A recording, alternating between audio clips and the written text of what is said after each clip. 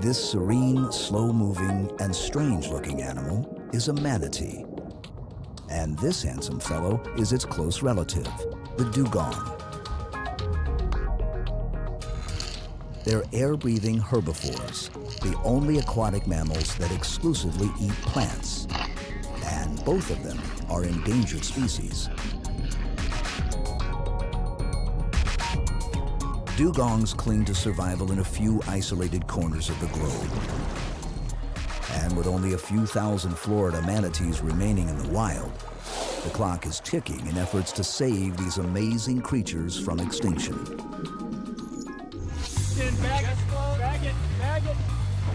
In Central Florida, a diverse group of biologists and wildlife officials capture manatees for health exams, census counts, and genetic testing.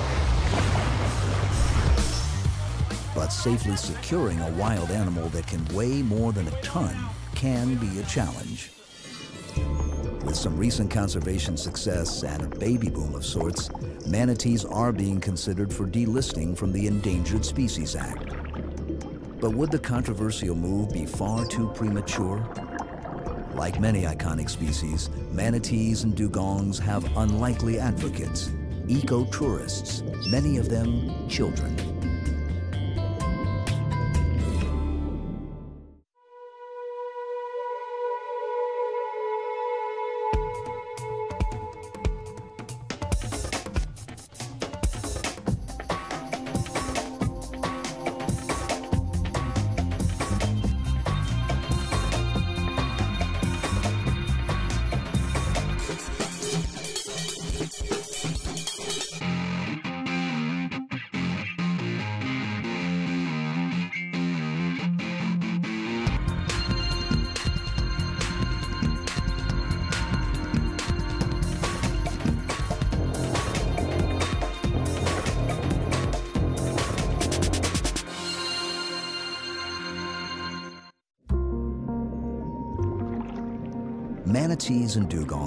Closest relatives are elephants.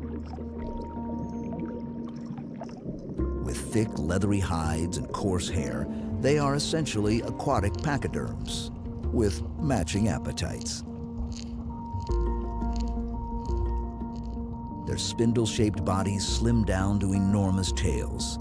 The main difference between the two species are that dugong's tails are fluke-shaped like a whale or dolphin, and manatees are round and paddle-shaped. They are indeed some of nature's more eccentric creations.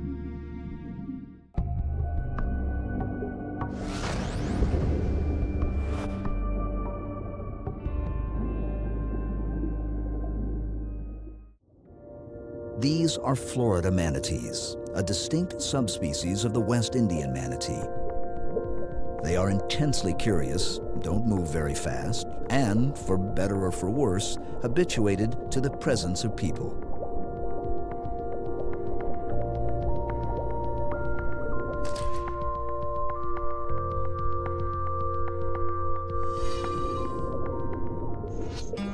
You can't go far in the Crystal River region of Central Florida without seeing a reference to manatees. They're even featured on license plates.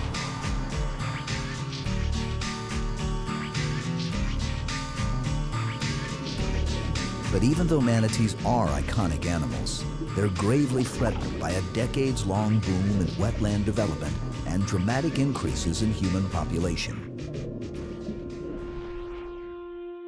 Each year, hundreds of manatees are killed in U.S. waters, mostly from boat strikes. Disease and cold weather also take a toll. 2006 was the worst year on record for manatee deaths. At least 416 perished. But things are looking up for manatees. The past few years has seen a baby boom. New births have helped to offset high mortality rates. We really want to have a balance, and we certainly want to have more calves born every year than animals are killed each year. And as long as we have that positive growth, then we're going to see the rewards associated with that in the population overall over time. It's when you get more manatees killed in one year or you have births that you present a problem. Today, biologist Dr. Bob Bonde is leading a massive effort to capture, examine, and release wild manatees. Animal health assessments are initiatives to help protect endangered manatees. And you need a lot of people to haul a 2,000 pound wild animal from the water. Representatives from local, state, and federal agencies are all on hand to help and to learn. So we're going to basically go over some of the ground rules. We have a lot of people here. We have a lot of activity that's going to be going on. Hopefully we're going to have a lot of manatees. So why are we doing this? Why do we torment manatees and catch them? Well, this is a research project. USGS is instructed to come in and learn as much as we can about the health of the manatees in the Crystal River National Wildlife Refuge. Fish and Wildlife Service mandates this, so it's good for recovery purposes to know how well manatees are doing. Manatees' preferred winter habitat is Central Florida, and a lot of people live here, and many have boats. In Florida, when it gets cold, uh, manatees look for warm water sites, and so... I think that's an interesting thing. This one piece will make 52 layers. Watch on mobile devices or the big screen, all for free. No subscription required. Uh, the warmer the water, the better for these tropical manatees that are found in Florida and southeastern United States, the northern limit of their range. With all these people moving down into Florida and bringing their boats, there's a greater, greater burden on the manatees that use the same waterways the boats do. And so it's only a matter of time before a manatee gets scarred. It's not just the swirling propeller that causes the problems. In fact, only in 40% of the implicated deaths that are associated with watercraft mortality. In the other 60%, it's impact trauma. So you actually have boats that are going so fast through the water that they just come in and hit and, uh, and cause damage to manatees. It's often lethal. In nearby Crystal River Wildlife Refuge, the team prepares their equipment and clears the beach of rocks and debris. We're going to be uh, supplying medical support and health support for the animals that are brought up, which means we'll be looking at their respiratory rates, we'll be looking at their heart rates, we'll be taking blood samples, we'll be checking areas of the blood that'll help us determine whether that animal is not getting enough oxygen. For those participants who've never experienced a manatee capture, it's a thrilling introduction to one of Florida's most revered species. We're looking for single animals so we don't set on too many. And, uh, and so the manatee goes into the net as it's swimming out. And you can see the footprint in the water right here as it goes into the middle of the net.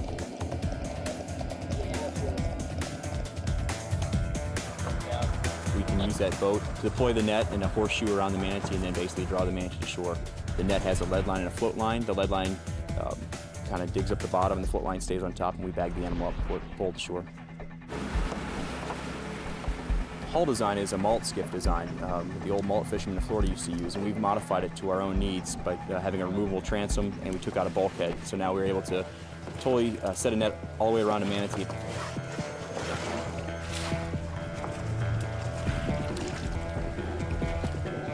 Once the net is set, all hands are needed on the beach to wrangle the animal to shore. Stop with the floats. Bring the floats this way. Now, open it up. You're okay. Just let that stay down. Okay, step back with the float. Open it up a little bit. Yeah, that's fine. That's good.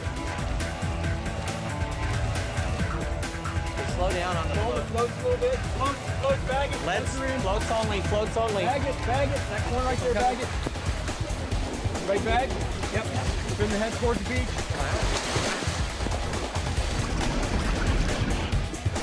The head's going up. Ready? Head side pulling. Tail's pulling. One, two, three. All right. Purchase up a little more. Ready? One, two, three. All right, beautiful. It is a team effort because we're manhandling an elephant-sized animal. It takes a lot of people to pick up an elephant and tote it around. Now, an elephant you can train to walk over here and plop down and, and take your blood sample.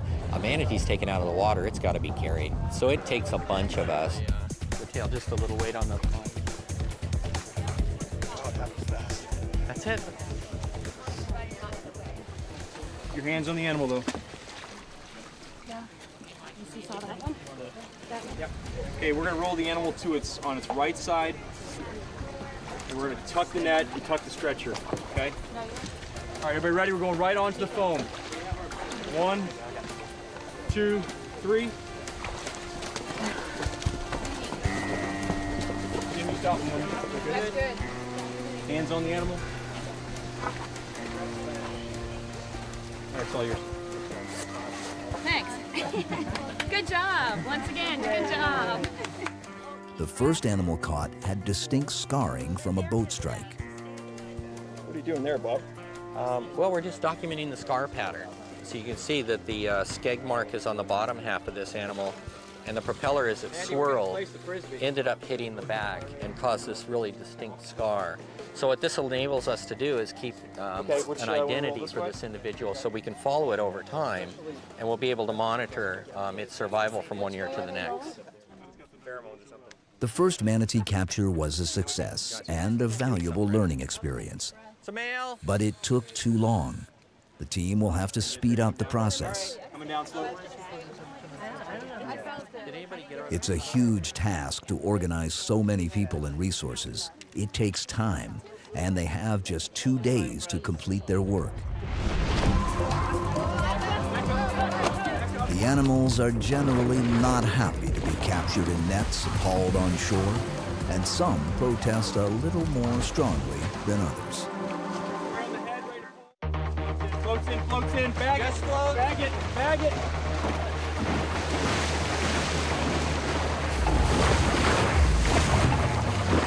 Most of the manatees put up quite a struggle, and light as a feather, they're not.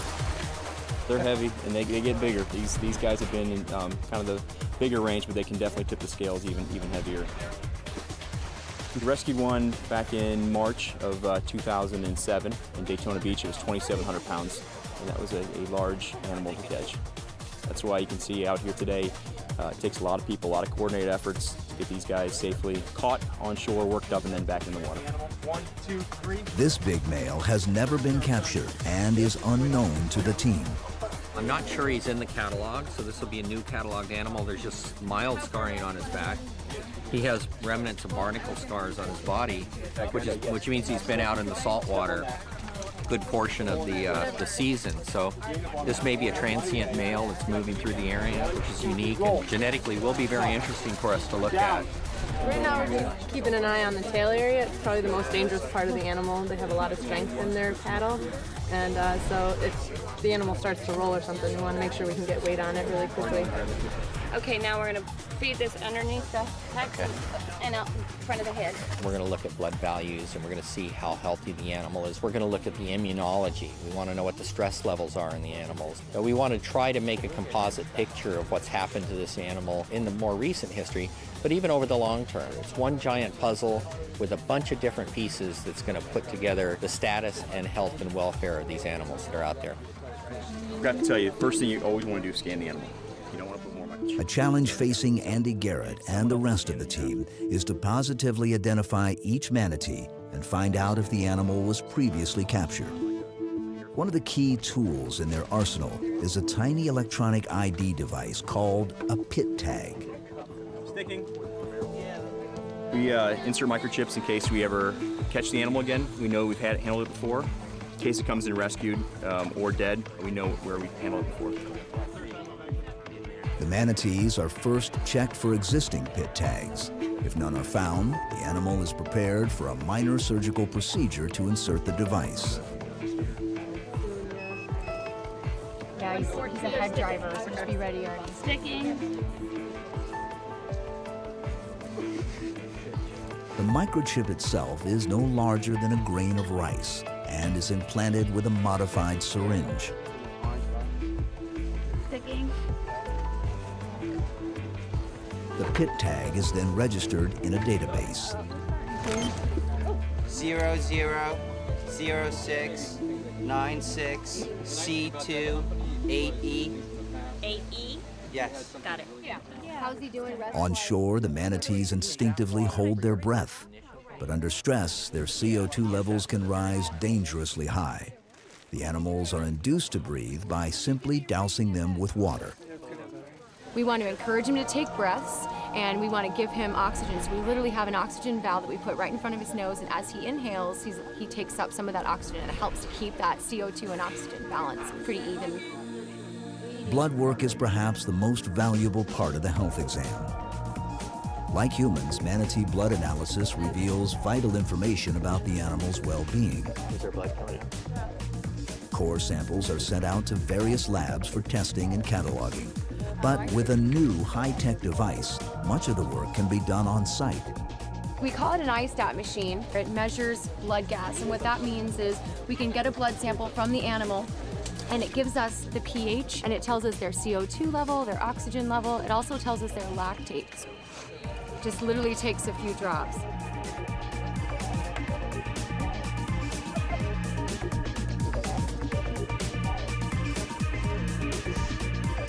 A small tissue sample is cut from the tail for DNA analysis. In this Crystal River greater population, we've collected over 700 cookie samples from manatees. So we have a really good representation genetically of the stock population. Two, three. A necessary and unenviable task is to collect urine and fecal samples. You can tell a lot about a manatee from what comes out of a manatee. What we've got here is a fecal sample from the first male manatee that just got brought up on the shore. And um, my professor at UF uses these to look for hormone concentrations and sex steroids in the uh, manatees. You can tell a lot from a fecal sample, apparently. right now we're doing the measurements uh, straight line, curvilinear, total length. And then we'll do some girths. 252 for straight line. And then ISCA, curvilinear.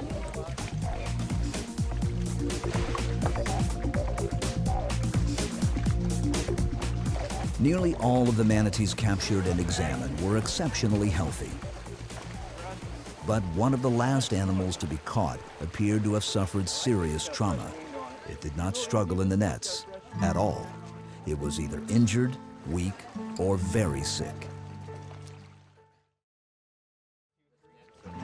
A boat strike likely caused severe scarring and internal injuries. Fresh, deep wounds were not a good sign. The team must now decide whether to evacuate the animal to a medical facility or to release it. So we want to get his weight. We want to see if this injury is serious enough to have caused debilitation. And then we probably want to sample a couple of these little lesions on the body.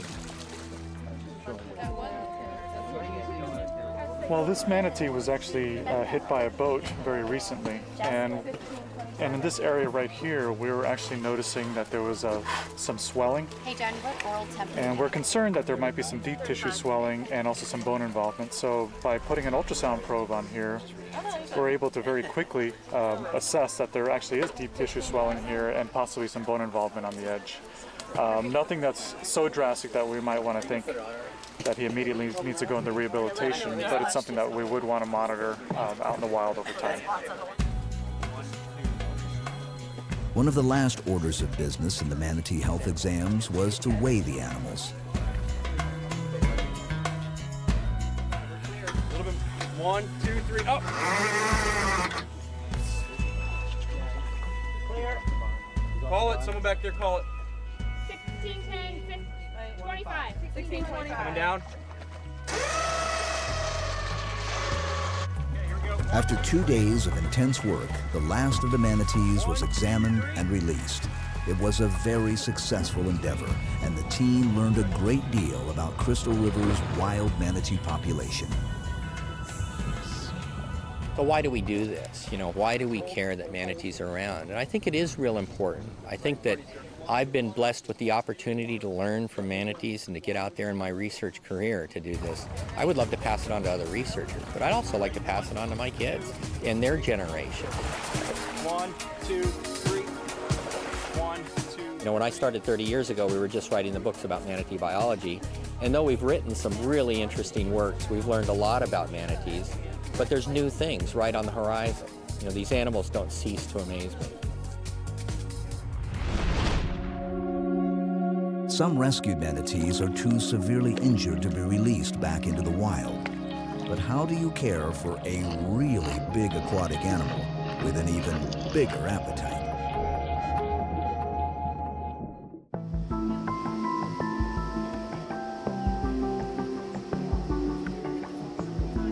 If a manatee survives a boat strike or is incapacitated by disease or cold stress, Florida has a number of facilities which care for sick or injured animals.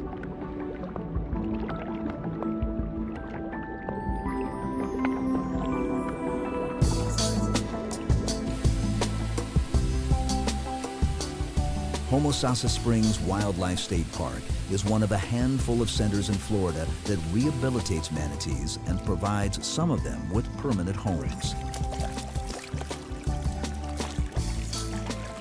In captivity, the animals need intensive care and a lot of food.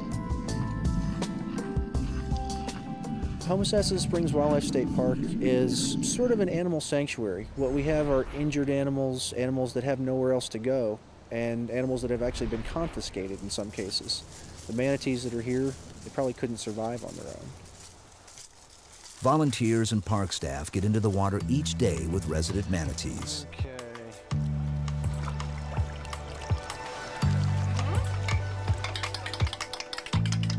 Mostly sedentary lifestyle and a rich diet has helped to push the manatees' weights a bit towards the hefty side. These guys being captive animals, uh, most of them have been captive animals, are brought in for rehab for a number of years. So they're not going through that annual migratory amount of effort they have to put in. They're also not going through the just having to look for your food on a daily basis. Of course, in the wild, they're not going to be eating a lot of sweet potatoes, but we need something that's a little bit of bribery, basically, to get them in and make sure we can get a good look at them every morning. No eating rope. No rope. Uh, this is Amanda, actually. Amanda is one of the injury cases that came in. Um, as you can see here, she's got some really deep prop cuts. And those actually go all the way down along her side. Now, Amanda got caught in a lock system, and she got locked in with a boat as they drained the water down. She was basically pinned up against the boat, bounced off of it, and into the side of the propeller. And this is Rosie. This is actually the largest animal. And you can see the scar on her head. That's the reason she's here. She took a direct strike across the top of her head. Last year, of course, was a real bad year for boat strikes. Um, the propellers actually cause a lot of damage. The boat strikes themselves cause a lot of the deaths. Um, all this tissue up here is lung. So when manatees are hit by a boat, you're cutting into the lungs. A chest full of water on a person, a manatee, any kind of mammal, it's a drowning. Here at Homosassa, we've got only female manatees, uh, just because we don't allow captive breeding. Actually, captive breeding is not allowed anywhere. And the reason is female manatees spend several years raising their calves, teaching them pretty much where to go to get food, where to go to get water temperature, and also where to go to get fresh water. And that's not something we can teach them here. Manatee's closest land relative or closest genetic relative is the elephant. You do see some similarities. They do have that prehensile upper lip, which is basically just a shrunken down, modified version of an elephant's trunk. They also have the same toenails that elephants have. So you got those rounded off. Not much good for digging or, or clawing, but they do have toenails on there. Uh, and they also nurse their young in the same place, which would be in the armpit area or the, the flipper pit area on a manatee. So there are quite a few similarities between the two.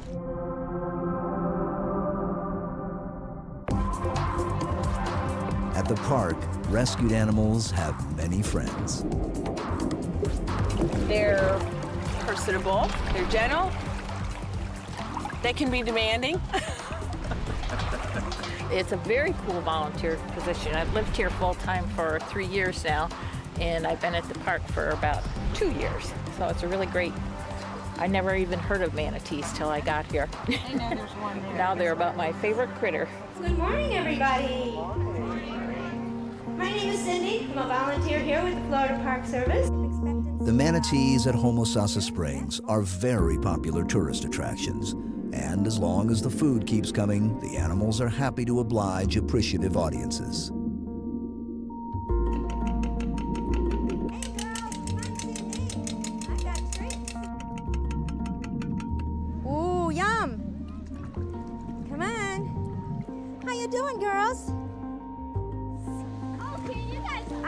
All right, getting my hair wet. They are warm-blooded, air-breathing creatures that can exist only in warm waters. A floating observatory at Homosassa provides a remarkable glimpse into the underwater realm of a Florida spring. And here the manatees get their main meals for the day. These guys will get romaine, they'll get kale, they'll get cabbage. Uh, iceberg lettuce is basically green water, so we don't feed that. The romaine for them is probably one of the higher proteins. They'll get peppers, they'll get, depending on the day, kale, bok choy, bananas actually are one of their favorites. And they'll also get about 50 pounds of carrots a day. Keeping the park's manatees healthy and well fed is a never ending chore.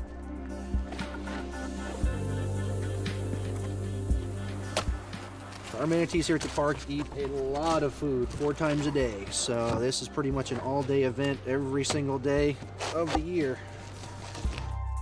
So a lot of the research as far as manatee diets and what their, their dietary needs are comes from research with actually elephants, being that elephants have been captive a lot longer than manatees actually, so they know a lot more about the nutritional needs of elephants. Manatees, even though they're called sea cows, internally they're basically horses. So they're similar to another animal that we know a lot more about.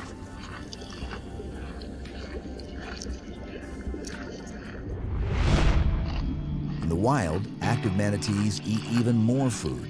They can ingest hundreds of pounds of vegetation daily, up to 10% of their body weight. They do offer us a service. We're out there with these same boats that run them over. We like to keep the waterways clean. Manatees feed on the plants. They're grazers, and they're doing us a public service by keeping waterways clear. The big thing with manatees, they're the only marine herbivore. So if you take an animal that's doing something like that, which is removing plants from an ecosystem on a natural basis, if you take those completely out of the equation, what you're going to get is massive overgrowth of lots of plants and choked off rivers and waterways. And we really don't know exactly what the impact of the amount of plant life they take out of the ecosystem is. If they were gone completely, we might never know how well they manage this ecosystem. For a more hands-on approach to manatee ecotourism, you can snorkel with the animals in the wild. They crave attention and a good belly scratch.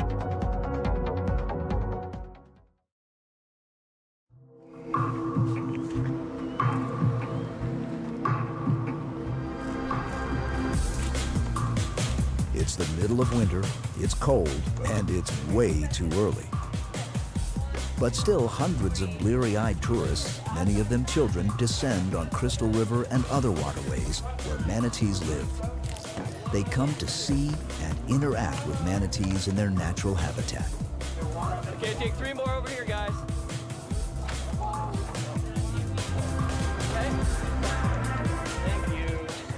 The best time is the morning time to see the manatees. That's when we get the best interaction out of the manatees. Uh, later in the afternoon, they start feeding. They could care less about us, so we want to get out there early. Let's go over a couple of rules that we went over yesterday, just to make sure we're all on the same page. Want to be as quiet as possible, right? That is the most important thing. It's cold out there this morning, so the manatees should be plentiful. They like to be scratched on their belly underneath their flippers. Stay completely on the surface. The manatees have to come to us. If we go diving down and there's a manatee on the bottom, he's either sleeping or feeding. We don't want to mess with him.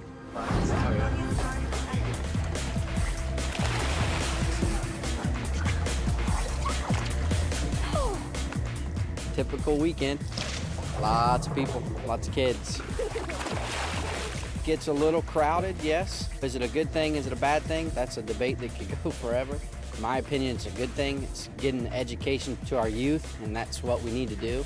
Um, it's just going to go a long ways in protecting the species. There's more awareness. And the awareness is taking place in this younger generation. And these are the people that are going to be responsible for taking good care of not only us when we get older, but the manatees that are out there. So it's very encouraging that young people get interested in this stuff. This water environment that we have around us is almost as alien as another planet. And it shouldn't be. We've got animals the size of elephants 10 feet away from us, wandering along the shore. We don't see them because they're under the water. So I think anybody that gets in the water swims with manatees, sees them in that natural environment, comes out a better person for that experience. The manatees are almost like cows and dogs crossed together underwater. Yeah, and then, you- like, when you try and pet them, they'll roll over like a dog so you can scratch their belly. When you pet them, they're really rough and they don't feel all that great. They feel like Yeah. algae. Like Yeah. slimy, like Yeah, they, they have that, like, algae layer Yeah, like on shells top. and algae Yeah. and like slimy, scaly. It's nasty. Like, the calves make these really high-pitched noises. Yeah. Squeals. And it's kind of like,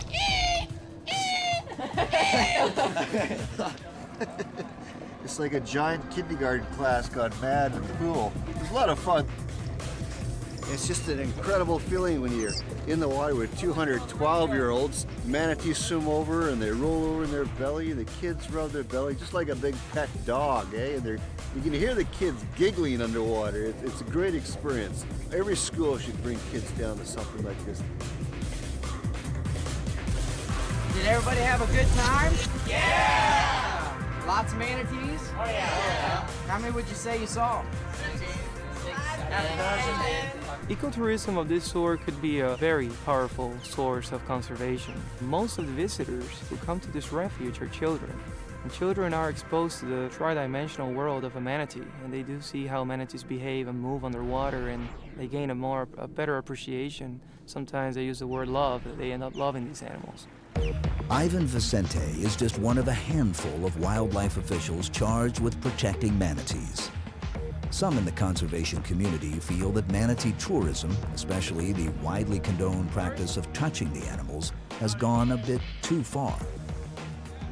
That's why we try to encourage passive observation so that when people are in the water, they try to establish some distance so that they can view from a distance and have more quality experience when swimming with a manatee. Just want to get away from a petting zoo concept or a park. So wildlife refuge and manatees should be treated as the wild creatures they are by people allowing them to have the right of way and letting them do what they want to do.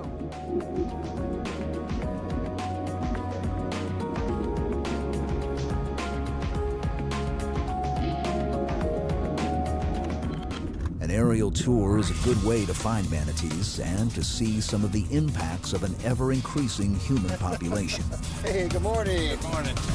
How are we doing? I'm doing great. How about you guys? Good. We're gonna go find some manatees today. Open.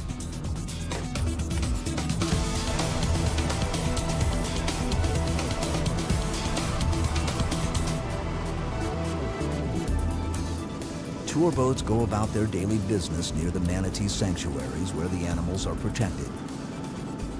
But from the air, the amount of nearby shoreline development is staggering.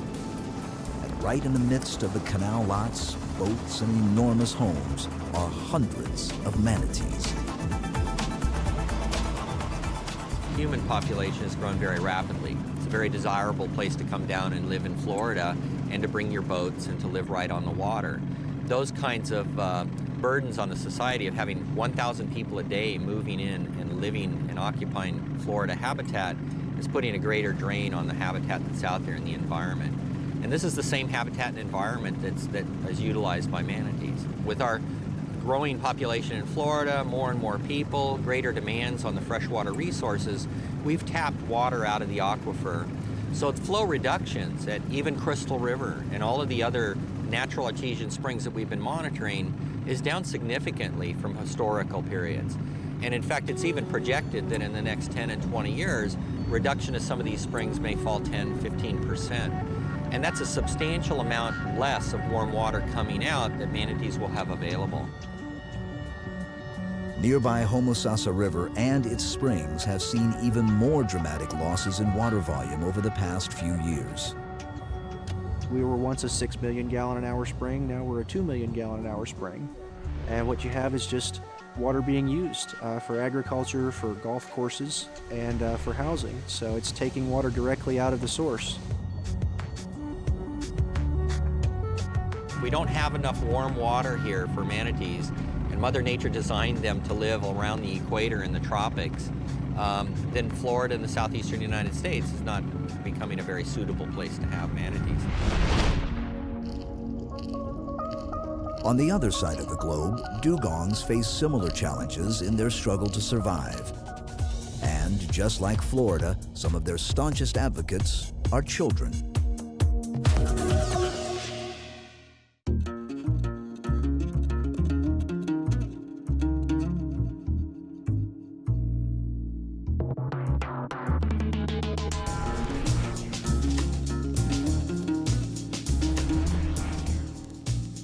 Half a world away from the freshwater springs and rivers of central Florida is the United Arab Emirates. This Middle Eastern country is a study in contrasts. Stark desert terrain, explosive urban growth, and the rich marine ecosystem of the Arabian Gulf.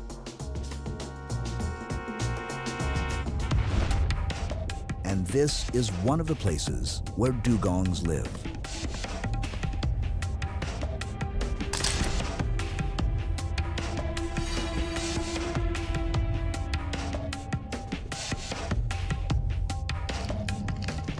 Dugongs are found along the coastlines of over 35 countries. The two largest populations are centered off Western Australia and the Arabian Gulf. Unlike manatees, dugongs spend their entire lives in saltwater. There are more dugongs than manatees in the world, but they are spread out over a much larger geographic area. They are still considered an endangered species. And like manatees, dugongs face daunting challenges in their struggle for survival, especially pressures from a growing human population.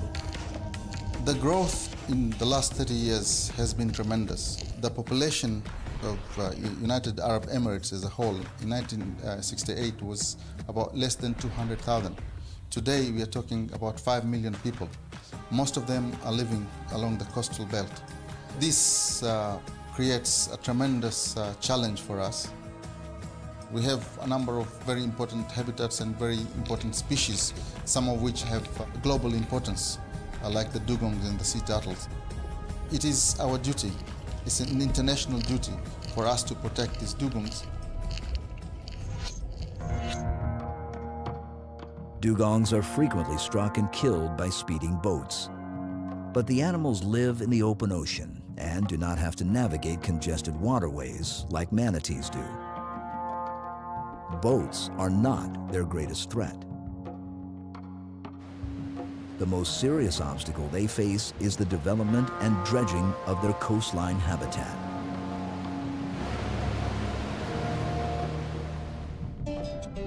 This is where lush beds of seagrass are found. Just like their North American cousins, dugongs need a lot of food. Because seagrasses are generally very low in nutritional value, they have to eat constantly, and dugongs roam over vast areas of the ocean floor in search of food.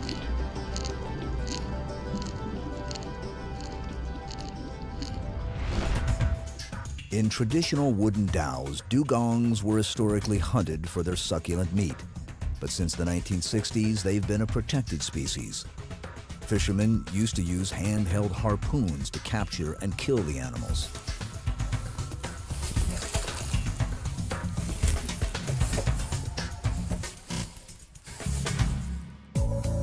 The government of the United Arab Emirates has since drafted comprehensive and far-sighted legislation in regards to marine conservation dugongs continue to be one of their top priorities. All right, children, what is this animal called? Dugong.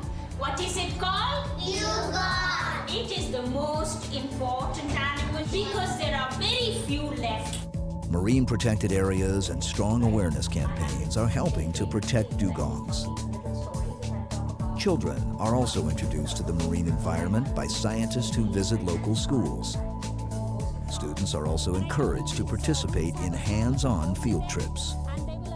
We have more than 120,000 students we work with in different schools and we have different programs and we have also uh, educational program for marine environment learn more about the biodiversity and learn more about the ecosystem they live in but still we have more to do we will know that if we've been effective or not when they grow up and start living within this ecosystem Awareness campaigns in the United Arab Emirates appear to be working. After decades of sharp decline, the dugongs of Abu Dhabi are showing encouraging signs of recovery. Getting the message out to new generations has proven to be a key tool in marine conservation.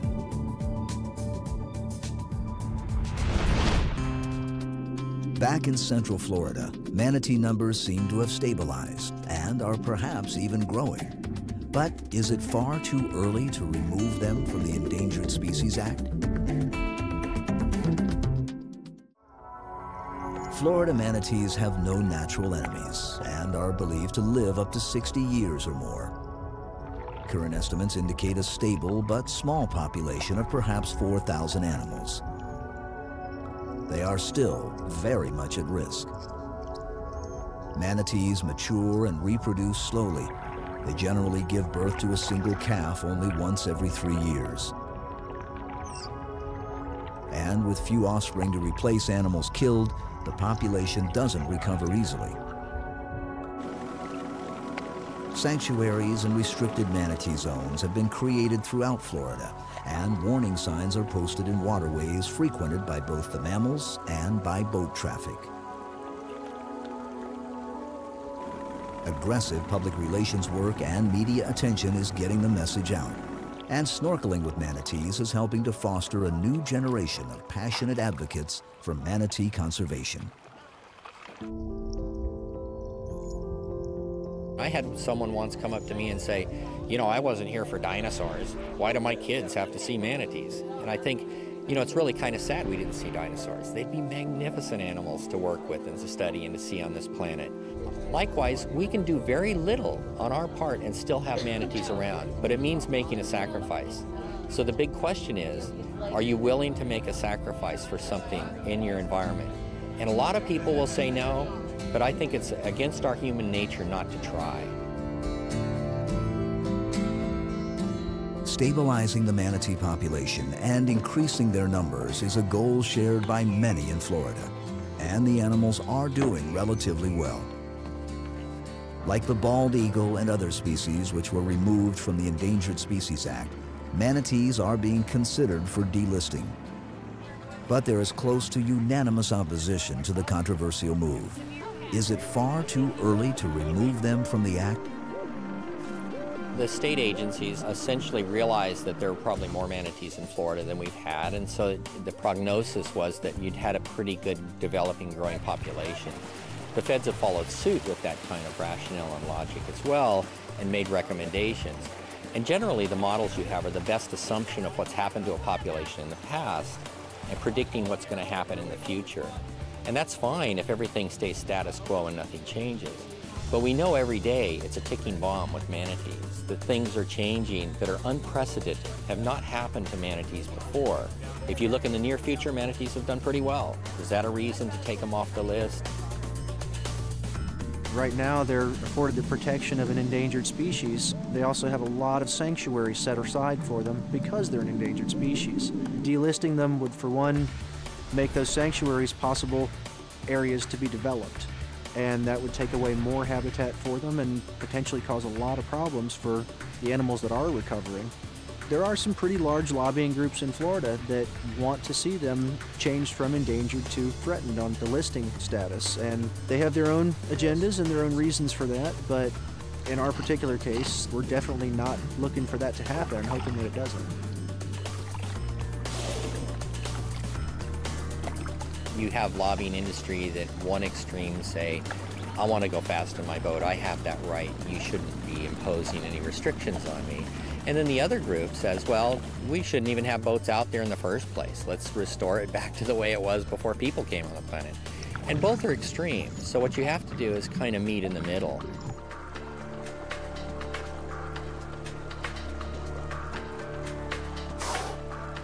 Manatees are luckily still on the endangered species list. For now, manatees and dugongs are holding their own, but they continue to face many challenges.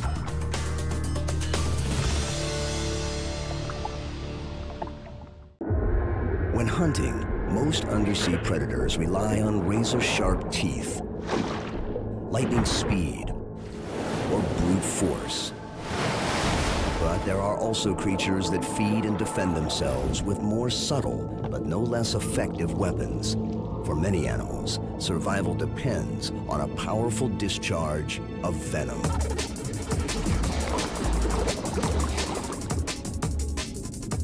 Poisons of certain marine species are among the most lethal found in nature. The sting of a box jellyfish or stonefish can inflict excruciating pain and even kill a human. In an ironic twist, these potent toxins are now sources of new wonder drugs. Deadly cone snails have helped researchers discover innovative ways to treat severe pain and a host of other human ailments. For these seemingly defenseless animals, life hinges on their lethal arsenals of venom.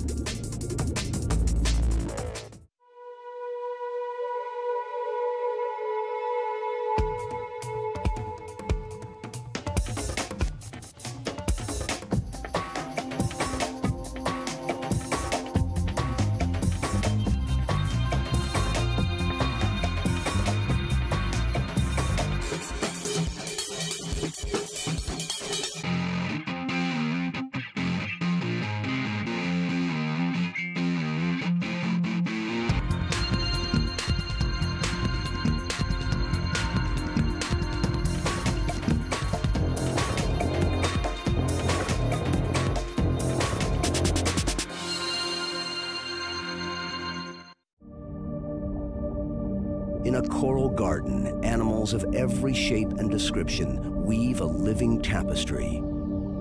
This is the enchanting realm of the tropical reef.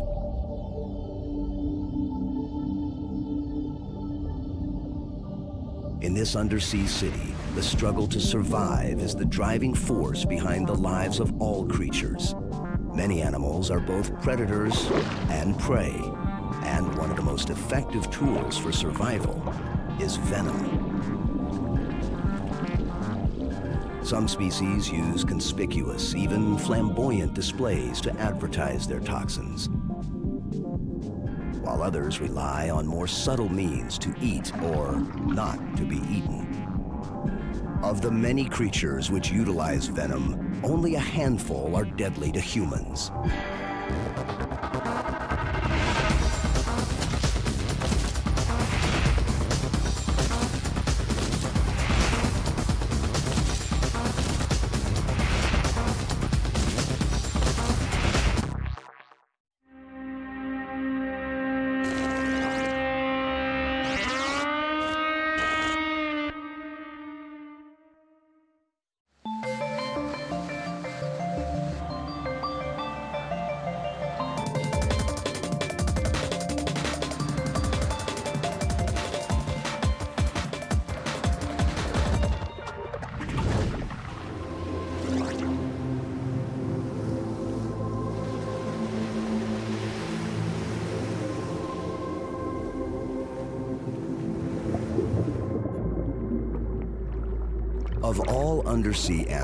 Sea snakes have one of the most potent toxins. Their venoms are far more powerful than those of most terrestrial snakes. Just a few drops are enough to kill a human. Many divers and swimmers have had the unnerving experience of a curious sea snake approaching or even touching them.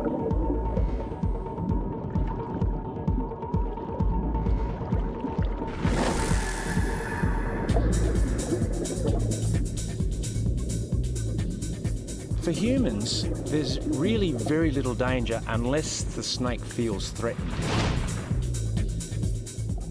They're a wonderful animal to work with under the water because they're not threatened by us, and so we can handle them as long as you're as long as you're gentle and they don't feel stressed. Then they're really a very easy animal to work with.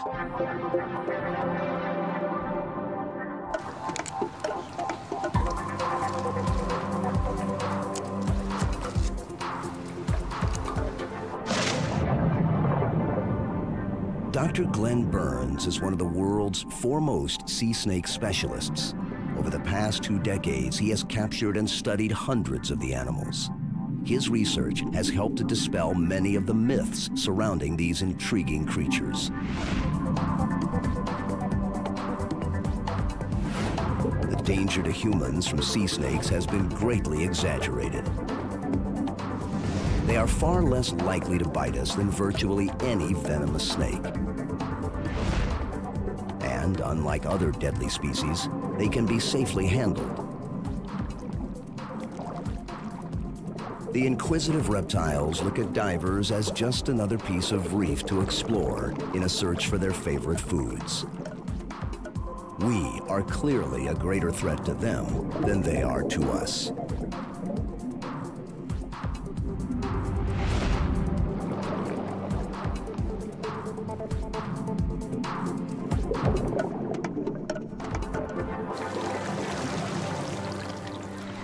Let's take her out of the bag, measure him, and uh, we'll check him for a tag. Yep, no worries.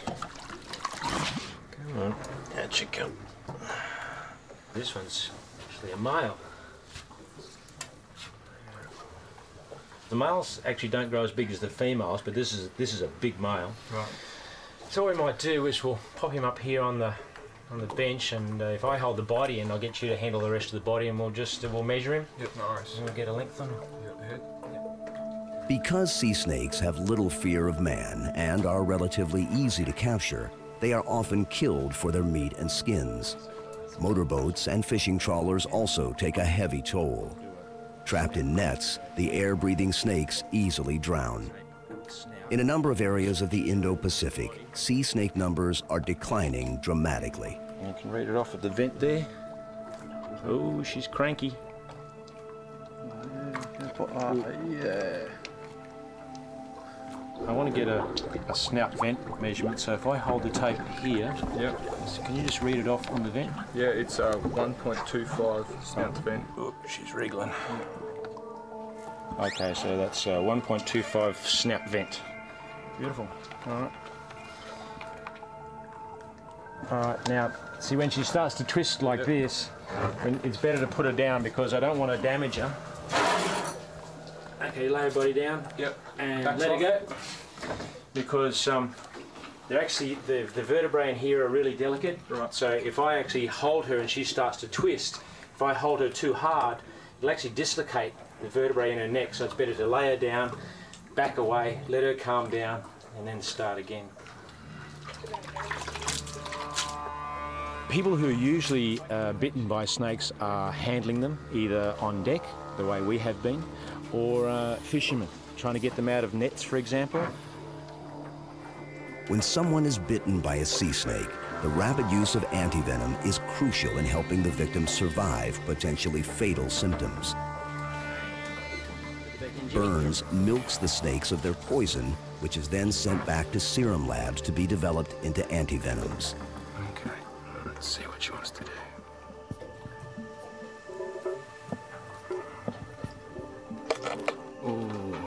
Okay, so she gave most of her venom then, just in one bite. You can see it there in the bottom of the glass. And that's a lethal dose. That's enough to kill us both. If she bit me now, she's still potentially capable of delivering a lethal dose of venom, even though we've just milked her. When she bites you, you, you don't really know how much venom that uh, she's pumped into you. It may be a dry bite. I was bitten once before, and, uh, and it was a dry bite. I wasn't, I was bitten but not envenomated. And you don't know. You don't know whether you have any venom in you until you start to show symptoms. Okay, so if you, uh, if you can take her head, I'll just, uh, you right there? I'm down. Beautiful. Right? Yeah, I got it. You right? Yep. To distinguish individual snakes, Burns utilizes an electronic microchip called a pit tag. With a minor surgical procedure, he inserts the tiny device directly into the animal's body. There it goes there. Okay.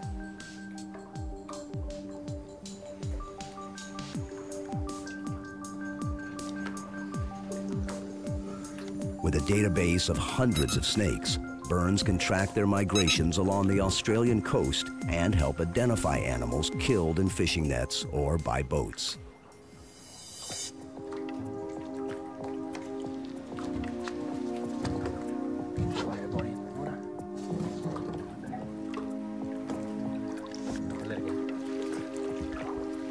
Very nice.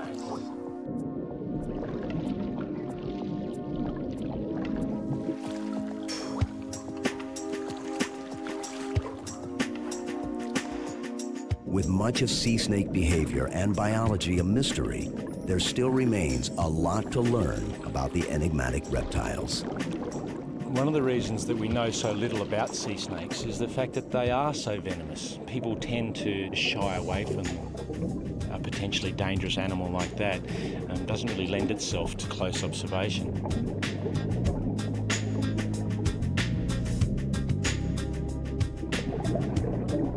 Been working with sea snakes for 20 years now, and, and I'll continue to work with sea snakes. I, I still find them fascinating.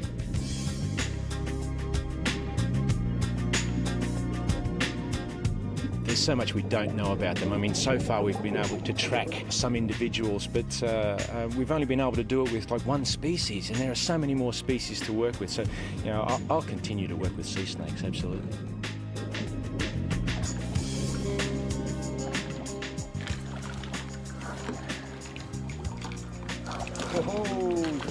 Cranky. Whoa. Whoa. That's a very cranky snake. All right. The venom of this marine animal is also one of the strongest toxins on Earth. But its deadly poison is also giving new hope to patients suffering from acute pain.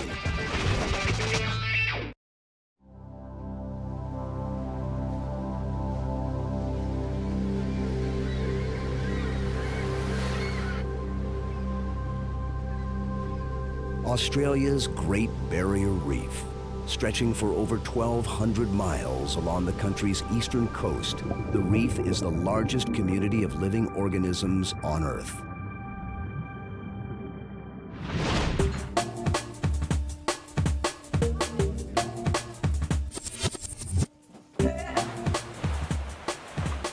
One of the ocean's most poisonous animals, researchers from the University of Queensland travel from the port city of Gladstone to remote Heron Island.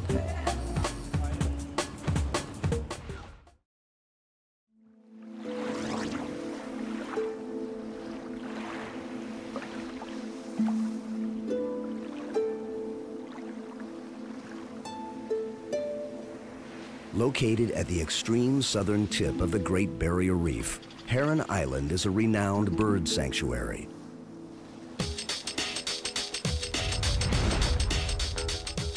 It is also a staging point and research center for scientists from around the globe.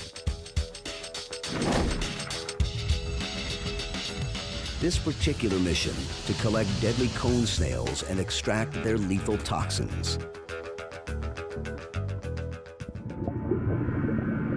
On a milligram per milligram basis, the venom of this tiny marine mollusk is one of the strongest poisons found in nature.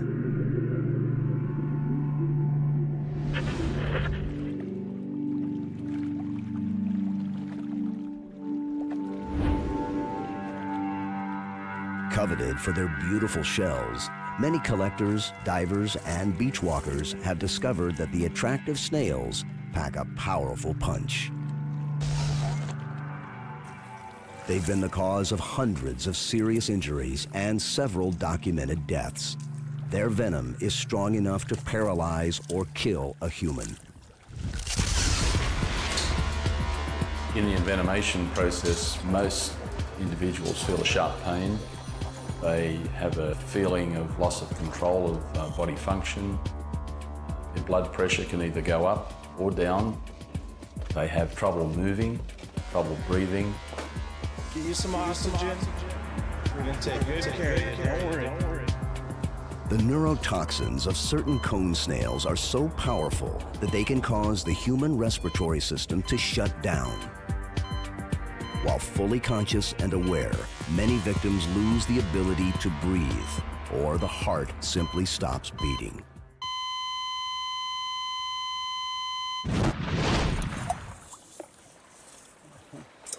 Dr. Paul Alewood is a professor at the University of Queensland and a founding member of the Xenome Project.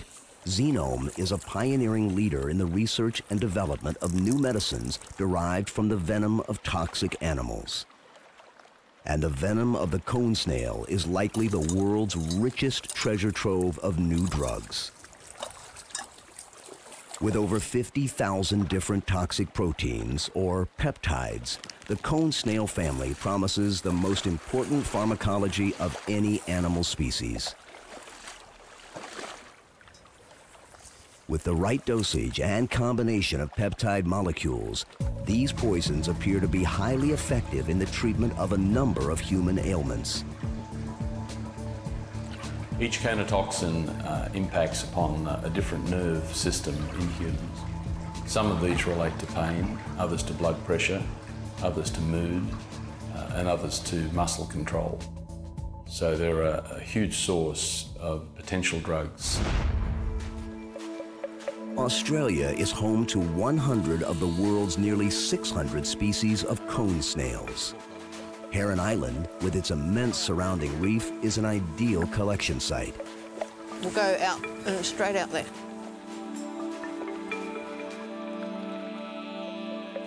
I think it's going to be another half an hour. Yeah, I think so. It'll be half an hour to get out to there in any case, so. Okay, well, the tide's still a fair way to go. Going to head out there? So let's, let's stop and have a look where we're going. Where's that pointer? The marker. During extremely low tides, Alewood and his colleagues fan out across the shallow reef to search for cone snails. Let's do it. Oh, beautiful. Nice one, guys, over here. Capitaneus lives on top of the rocks, and you can see by the growths on the shell, whereas underneath it's all nice and shiny. That's... No, nothing there. And there's the rest. Good find. Aha! Pretty. Got something? Oh, yeah. Oh, very nice. Yes. Beautiful, beautiful. Lovely and shiny. Living under the rock. Mm-hmm. Straight under that. Uh, Conus sand. striatus. Mm-hmm. The researchers need only gather one or two snails of any given species. Their toxins can then be analyzed, sequenced, and replicated in a lab. The collection of a small number of animals has a negligible impact on mollusk populations. It's a eburneus or a ebraeus. Good. Yeah, absolutely. It's just a young snapper.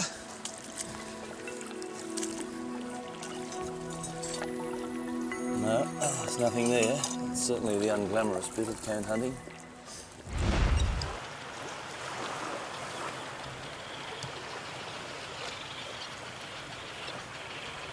After dark, the animals are more active as they leave their coral hideaways to feed.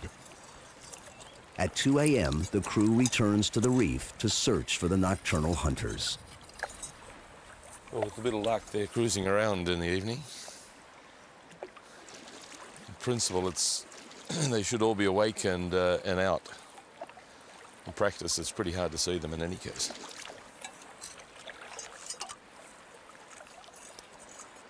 Little fish under there. Cone snails prey on worms, other mollusks, and fish. And it's the species that hunt fish that are most deadly to humans. As we are also vertebrates, like fish, these toxins unfortunately target our physiology.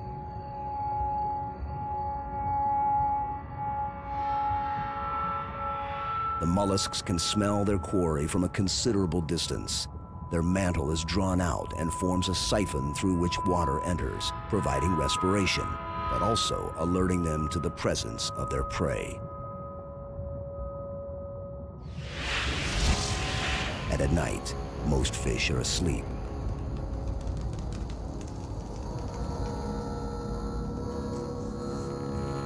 Closing in on a goby, the slow-moving snail readies its deadly harpoon.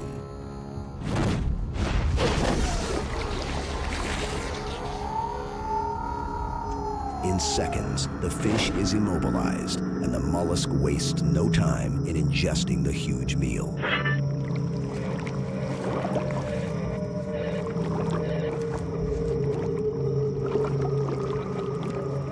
The goby will satisfy the snail's hunger for several days.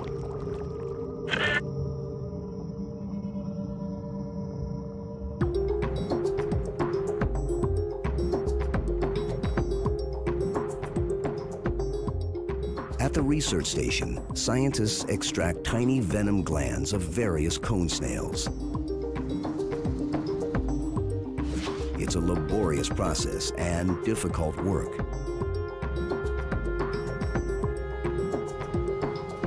Powerful microscopes reveal a close-up look at the snail's barbed weapons. There, wow. Look at this, real fishing hook. The mollusk's arsenal includes dozens of tiny harpoons. wee bit more defined. The barbs are tethered to their body and packed with enough venom to paralyze or kill their prey. Cone snails are indeed one of nature's most brilliant and deadly designs.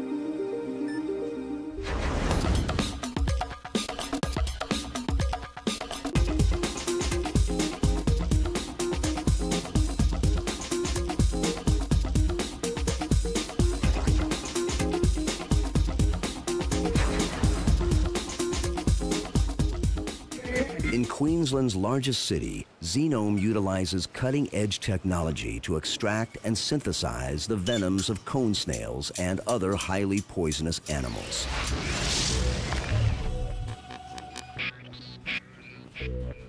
One of Australia's deadly killers, the funnel web spider, is also a potential source of new drugs. Its poison can be milked by gently stimulating the animal. Rearing up and exposing its large fangs, the spider discharges a lethal venom.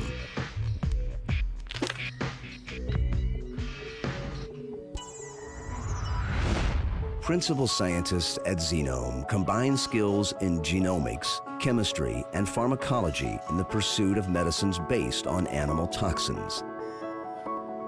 The researchers have a particular interest in cone snails, the poisons of these beautiful mollusks are becoming the holy grail of new drugs. The toxic molecules, or peptides, of cone snails work by disrupting communications between different cell groups. By blocking these transmissions, conotoxins can effectively treat a wide variety of ailments. They've got many hundreds of different peptides, and what we do is take out one or two and isolate them, work out their activity, synthesize them chemically, and then we can test them in people. Venom's research has a very bright future, we believe, because it's got the potential to treat diseases that are presently untreatable. We can really now start to get very excited about the potential of these to treat a much wider range of disease. Depression, epilepsy, autoimmune diseases, and acute pain are only a few of the areas in which cone snail venoms appear to hold great promise. Scientists at Xenome have isolated peptides from the venom of nearly 100 species of cone snails. Remarkably, their toxins are far more potent and effective than morphine and other opiates, And best of all, they're non-addictive.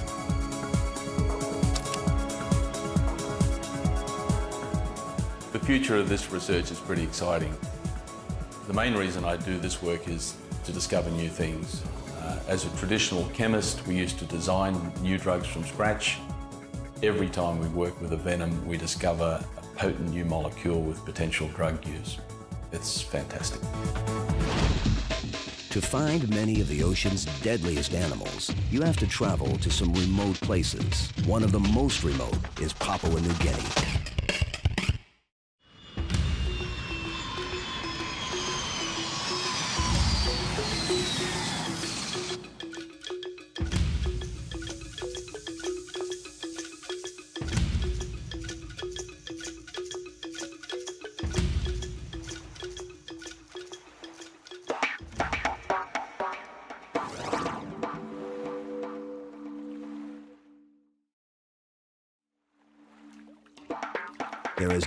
Better place in the world to find the sea's most venomous creatures than Papua New Guinea.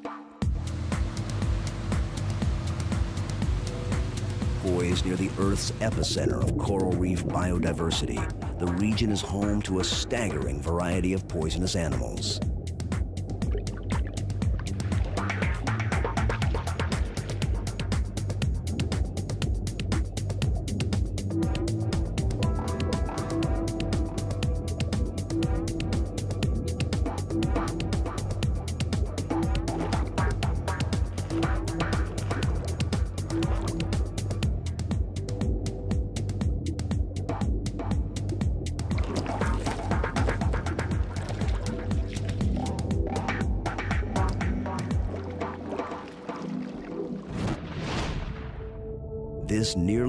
Invisible invertebrate is the most toxic species of them all, the box jellyfish. They are responsible for more fatalities and serious injuries to humans than all other creatures in the sea combined, including sharks. Box jellyfish are a deadly presence in the tropical Pacific.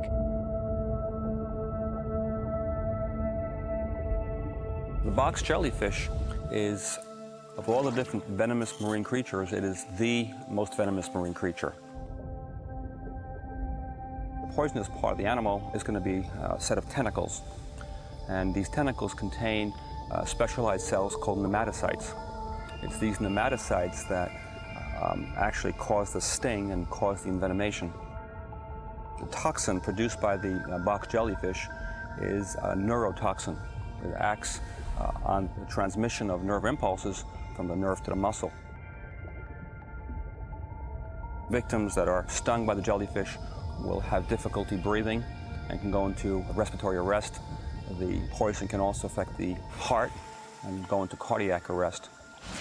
Dr. Gary Ronay is an expert on highly toxic marine animals. His search for species like the cone snail and box jellyfish frequently bring him to places like Papua New Guinea. Oh, this is a nice one.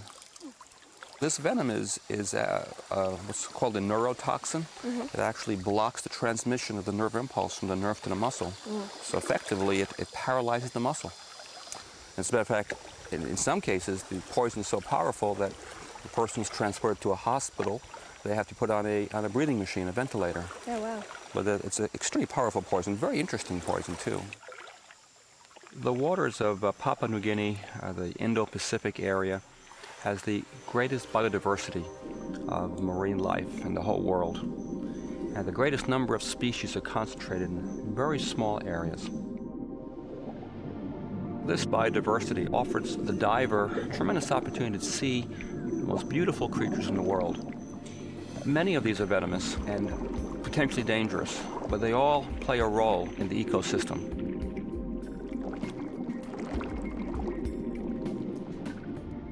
Many fish in the sea utilize venom, but most do so for defensive purposes only.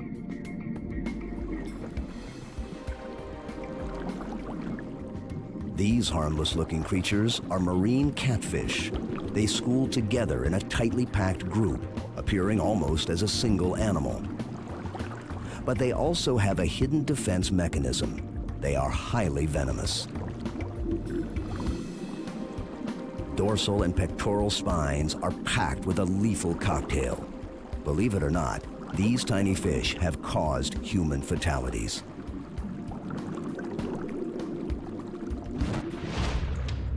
This strange animal is a demon stinger. Beauty may be in the eye of the beholder, but there are likely few who would find this creature attractive. It is still sometimes referred to appropriately as a ghoul or devilfish.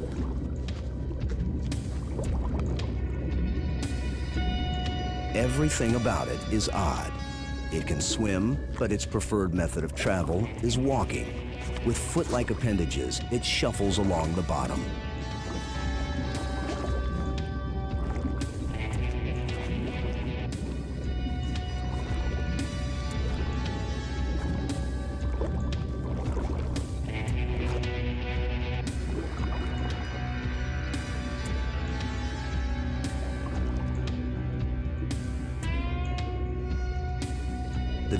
Stinger is part of a very large extended family named Scorpaenidae, more commonly known as scorpionfish.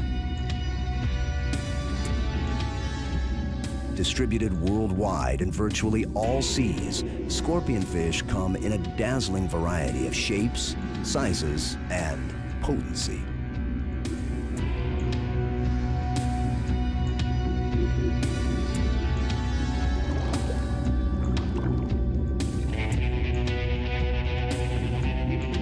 Venom-laden spines are very effective defensive tools. But to eat, scorpionfish rely mostly on camouflage and lightning-quick speed.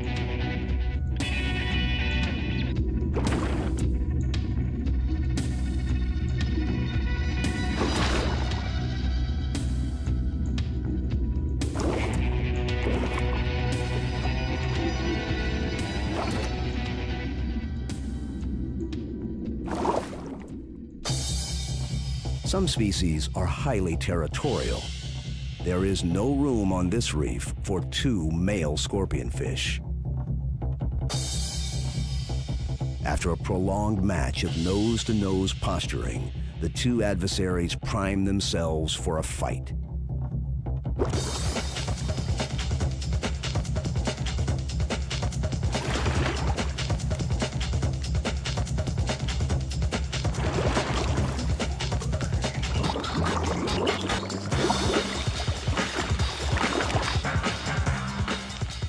Locking on his foe, both animals rest. But after a few minutes, the jousting continues.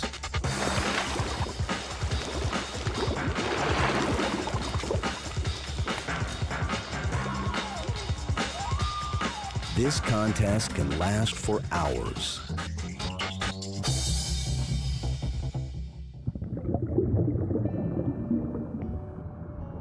Not all scorpionfish are drab or ugly. Several members of this family are very striking animals. Their finery has inspired many names, such as turkey, lion, or zebrafish. Like most scorpionfish, their dorsal and pectoral fins are loaded with poison. Venom sacs at the base of their spines discharge a potent toxin at the slightest touch. Favorites in the global aquarium trade, many hobbyists have learned firsthand that this is one beautiful fish that you do not want to handle.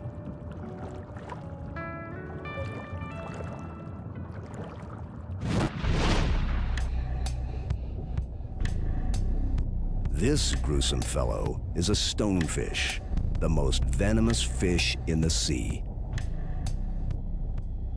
An envenomation from a stonefish or any of its related fish, any of the scorpion fishes at all, is extremely painful. A colleague of mine was envenomated by a stonefish. So when we had to race him off for first aid and get medical attention, so I know firsthand just how much pain a person can experience from stonefish, almost to the point where you lose any rational thinking. The way a stonefish envenomates you is the physical pressure of stepping on the spines ruptures the skin and then the pressure of your foot pushing down upon the spine compresses the venom sacs and the venom gets into you. This colleague of mine who was envenomated by a stonefish and the intense pain, I can imagine someone who didn't have the same strength of character as he did may well have wanted to end their life rather than continue experiencing the pain.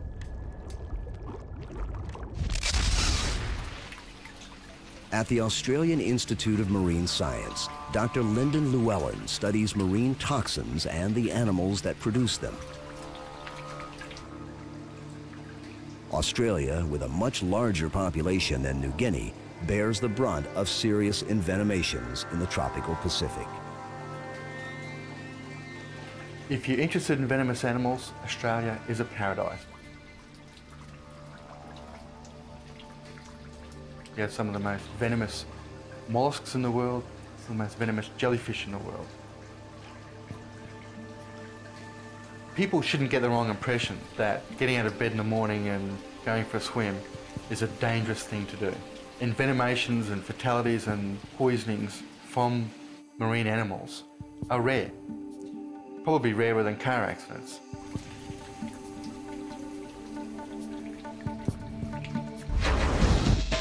Many jellyfish are poisonous, but on a tiny island in the South Pacific, this species evolved to survive in fresh water and lost its venom.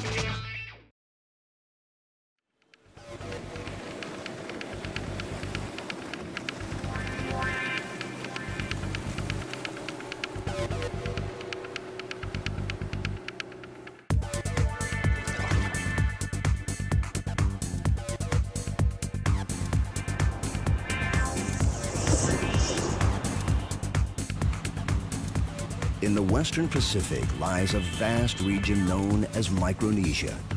It is not a singular country or island, but rather an immense oceanic territory that contains over 2,200 islands. Collectively, they span an area greater than the land mass of the continental United States.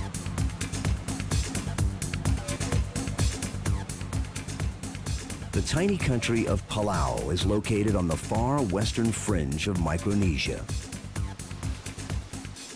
Like emerald jewels in a turquoise sea, its massive lagoon is sprinkled with picturesque islands.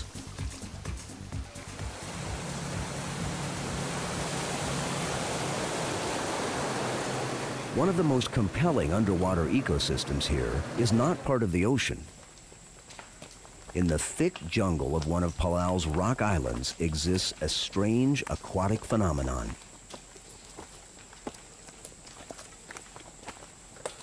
Seismic upheaval caused a small portion of the lagoon to become trapped in the center of the island. This eventually isolated the lake from the surrounding ocean. Jellyfish Lake is a brackish lagoon that is home to over 100,000 non-stinging jellyfish. A few species of fish and two types of jellyfish adapted to the decreasing salinity, evolving certain unique characteristics. Most importantly, the invertebrates lost their venom.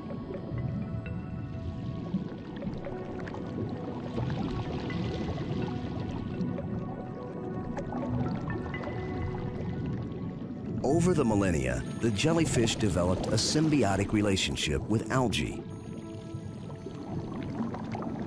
Algae is sustained by the energy of the sun. The plants live in the body of the jellyfish and provide sustenance to their mobile hosts. The jellyfish carry the algae around the lake, following the sun's rays to maximize production of new plants. It's an unusual yet productive alliance of two very different species. Unlike their marine counterparts, these animals have no use for venom. They initially had no predators and didn't need to sting their food, so evolution eventually relieved them of their weapons. They're perfectly safe to touch.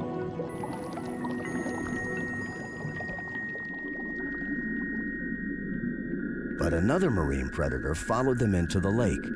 It's unclear how or when they arrived, but unlike the jellyfish, these anemones did not lose their ability to sting.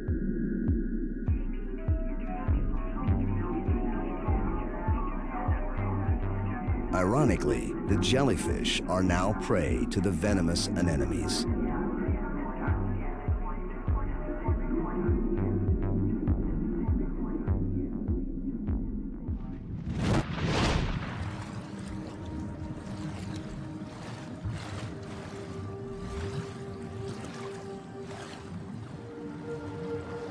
Feed, and especially to avoid being eaten, most animals rely on some form of weapon or specialized behavior.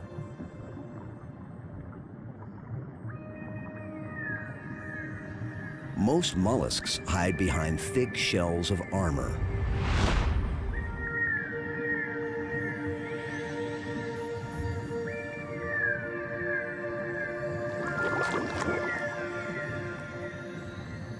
Other animals, like this pygmy seahorse, utilize camouflage to conceal themselves. Pipefish, a close relative of seahorses, mimic sea fans or corals. Some creatures take shelter in deep burrows, while a few even bury themselves completely in the sand.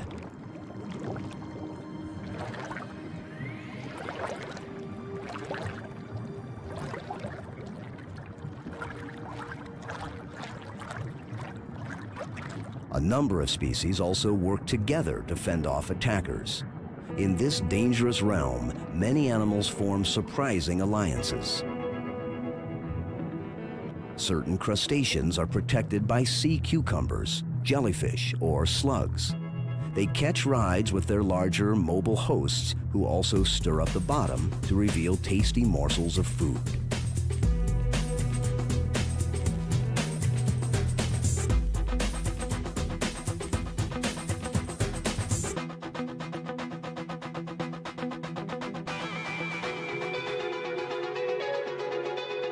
Addition to meals and transportation, these shrimp have another deterrent to avoid predation. Nudibranchs are poisonous.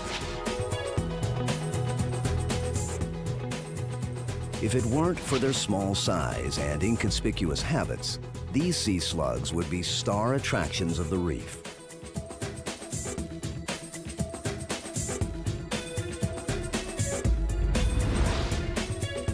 Unlike their cousins, snails and bivalves, nudibranchs lack a protective shell. They don't need one. Any creature foolish enough to ingest a nudibranch would probably do so only once. Sea slugs are highly distasteful or even poisonous. Bright colors and markings serve notice that their flesh is extremely noxious. But they are not naturally toxic. They actually steal their weapons. Many nudibranchs are immune to the venom of stinging hydroids and anemones, their favorite foods. The venomous cells of their prey are transferred to fleshy appendages on their backs called cerata. When attacked by a predator, the stolen toxins are used to repel the attacker. This is a rare example of the use of an offensive weapon of one animal by another. Thievery and venom seem to work for these sea slugs. They have very few predators. Sea urchins utilize needle-sharp spines to dissuade predators, but their defenses pack an extra punch. Tissue surrounding their spines is highly toxic. Fire urchins are appropriately named. Contact with their spines can inflict pain worse than a third degree burn. Damselfish, crabs, and shrimp find refuge in the stinging tentacles of anemones. Although deadly to many fish, anemones provide shelter to a select group of tenants. These vividly colored clown anemone fish make their homes in the stinging tentacles of their fish-eating host. They acquire an immunity by continually covering themselves with mucus secreted by the anemone. This in turn stimulates the anemone not to fire its stinging barbs.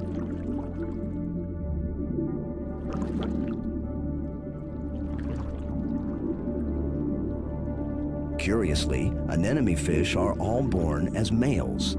When the need arises, a male will change sex. If a dominant female dies, the largest male changes sex and takes her place, and the largest of the remaining males becomes its partner.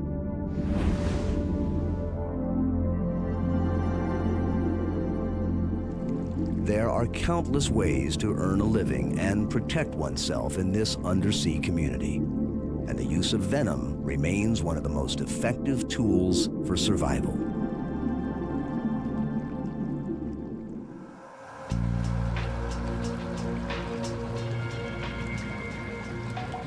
Tropical reefs and mangroves where sea snakes and other venomous marine animals live are being destroyed at an alarming rate. Coastal development, overfishing, global warming, and disease are all taking their toll. The collection of cone snails for the shell trade is also increasing. Millions are sold annually for as little as a few cents each. To date, there are no countries which monitor the collection and trade in ornamental shells. Other venomous animals like jellyfish and many species of scorpionfish are also declining in numbers. We can only speculate on the lost opportunities for new medicines should more species become endangered or extinct. And as most of these animals are predators, it is difficult to gauge the impact on the marine ecosystem should they continue to disappear. They may be key pillars in the undersea food chain. Sea creatures produce some of the deadliest venoms in nature. And although they do injure and occasionally kill humans, they hold enormous potential in the development of powerful new medicines. Around the world, thousands of retired warships are rusting away, toxic nightmares filled with pollutants. What can be done with the aging relics? Cutting up and salvaging scrap metal from these ships is expensive and dangerous. Leaving them to rot, leaking fuel and harmful chemicals into the sea is a recipe for disaster. There is another option. Clean the ships really well, add some explosive charges, and sink them.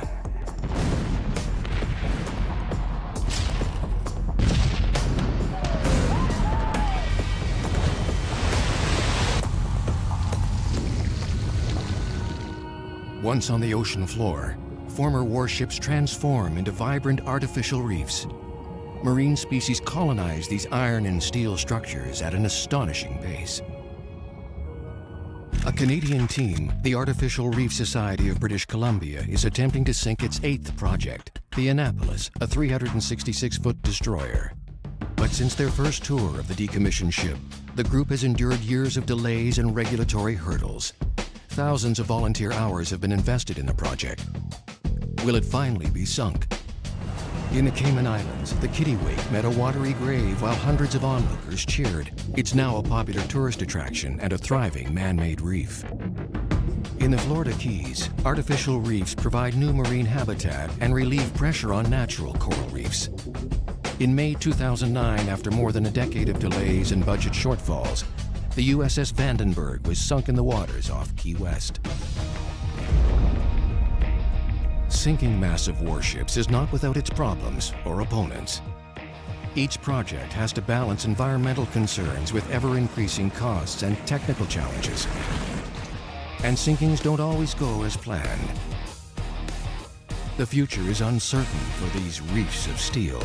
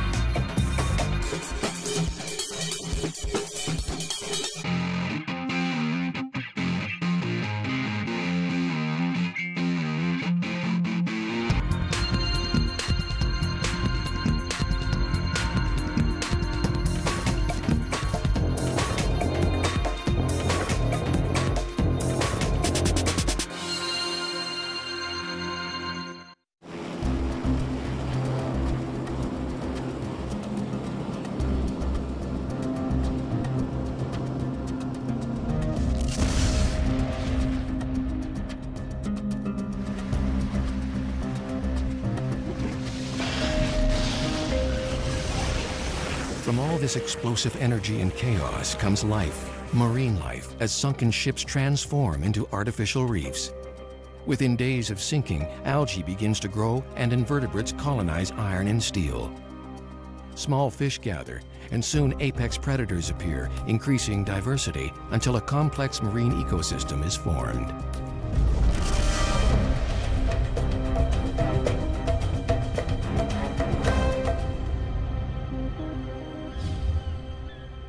In 2004, members of the Artificial Reef Society of British Columbia visited Canada's Pacific Naval Base on Vancouver Island. They were invited by government officials to inspect the Annapolis, a recently retired destroyer escort. The warship was for sale, but the team wasn't looking to buy it for scrap value or even to keep it afloat. They were planning to sink it as an artificial reef. Here we are down at the ex-HMCS Annapolis, um, just doing a walkthrough to sort of check on the general condition, which gives us an idea of what we've got to deal with for uh, um, preparation, cleaning, um, equipment removal, etc.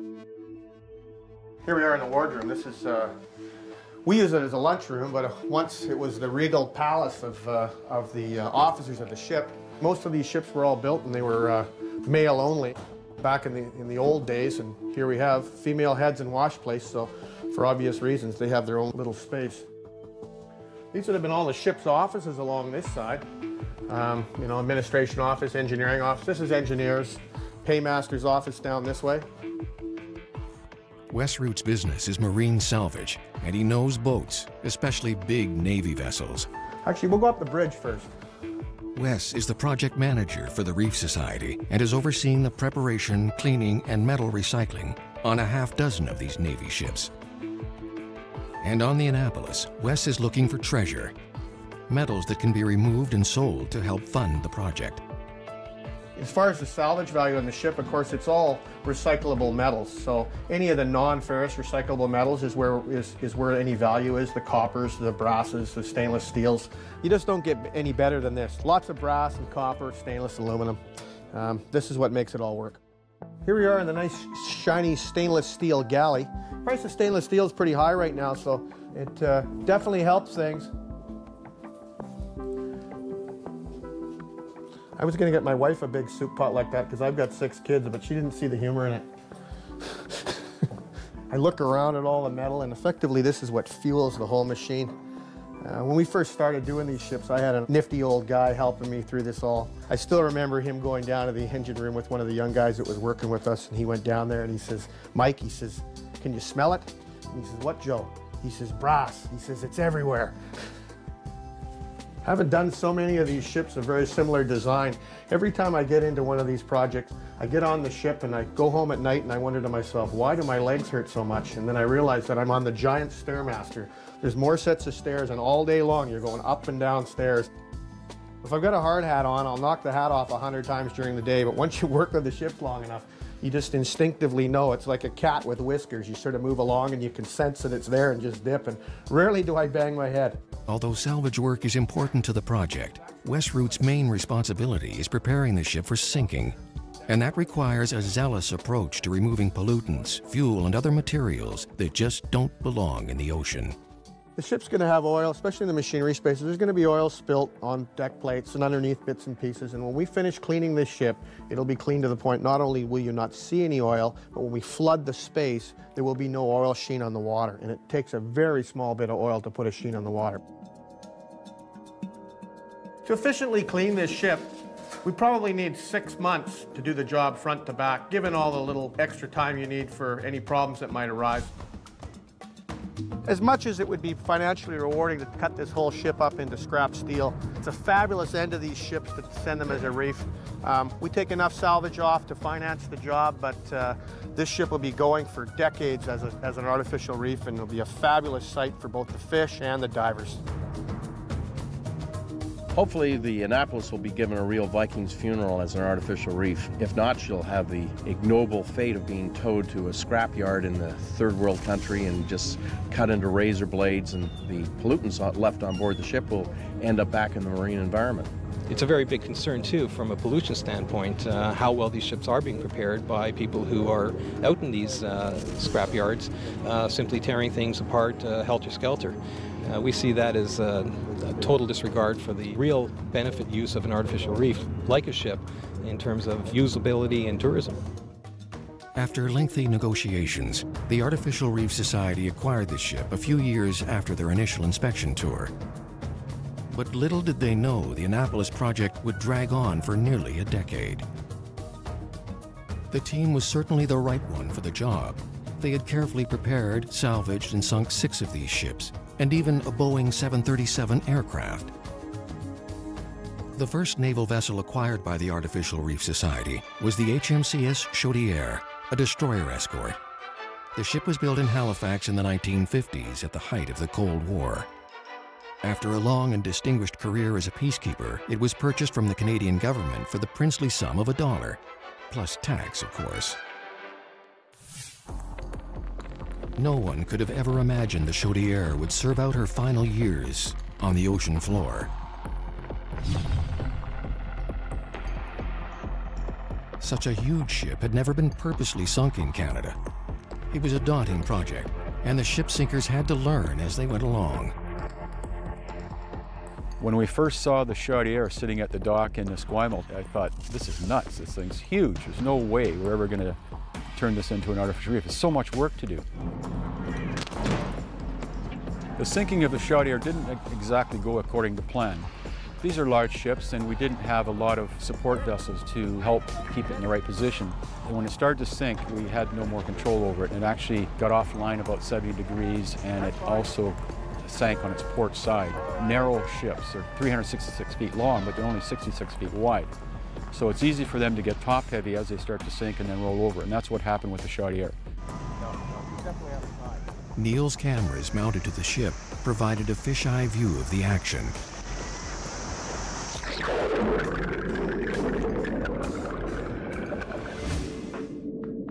This is the Chaudiere today. 20 years after being sunk, the ship is a magnificent artificial reef. It's lying on its port side. On the bottom, it's a lovely wreck. It's more like a real shipwreck in that it's kind of haphazardly lying on the bottom rather than being upright, the way the more recent ships have gone down. The Artificial Reef Society learned many hard lessons from their experiences with the Chaudiere and later projects. They are now considered world leaders in this unusual field of expertise. Canadians have literally written the book on how to properly prepare, clean, and sink a ship within demanding environmental standards. Dr. Chris Harvey Clark is a biologist and professor at the University of British Columbia. He's an expert on marine life colonization of sunken ships. Today, along with veteran cinematographer and zoologist Neil McDaniel, Clark is making his first dives on two long-established reef projects, the wrecks of the Cape Breton and the Saskatchewan. What do you got in there? Gold bars? Yeah, sorry. Our beer cooler. Oh, good. I'm glad because it's heavy. That's a good sign. The shipwrecks are located a few miles offshore and are only accessible by boat. Okay. Charter operator Kevin Breckman makes a sizable chunk of his living shuttling scuba divers back and forth to the sites. The wrecks are a fantastic thing, specifically just for the biodiversity and for the increase in marine life. Uh, economically, they're spectacular because it increases not only the sport of diving and the interest in the sport of diving, but the offshoot of hotels, restaurants, just basically the tourist industry. It's just uh, a fantastic thing, and hopefully we can continue to do so.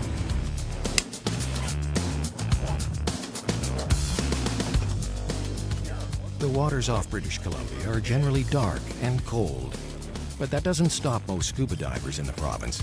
They're a hardy bunch. Well, the water is darn cold here and uh, about 50 degrees Fahrenheit, so we've got to wear dry suits to protect ourselves thermally.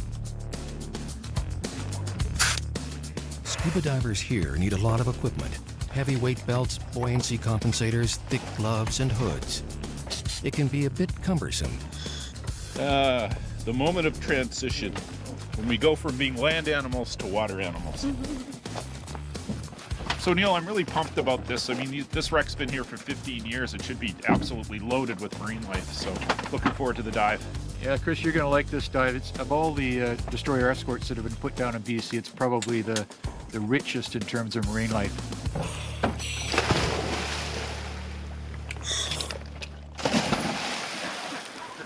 And there's one more piece of heavy gear the camera. Okay, Neil. Getting your workout today, Kevin? I am. There we go. Got her? Uh-huh. Okay. That is one heavy frickin' camera. It's good. Good thing you had your Wheaties this morning, Kevin. totally. The big thing about sunken wrecks is that they're really a great big sampling device. They sit proud of the bottom up in the water column where nothing was before. They're hard substrate and a lot of animals prefer to be attached to hard surfaces, particularly a lot of the invertebrates.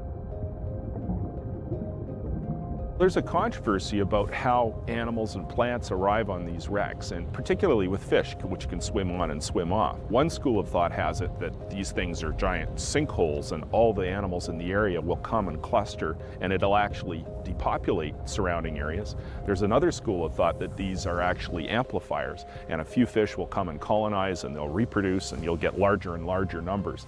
I'm kind of favoring the second theory. These wrecks are havens. They actually provide a place for these animals to hide from predators, place where they can lay their eggs, ability to get away from other animals that might be competitors, and of course things settle on the wrecks that they can feed on. So uh, they're really, I think, uh, have an amplifying effect.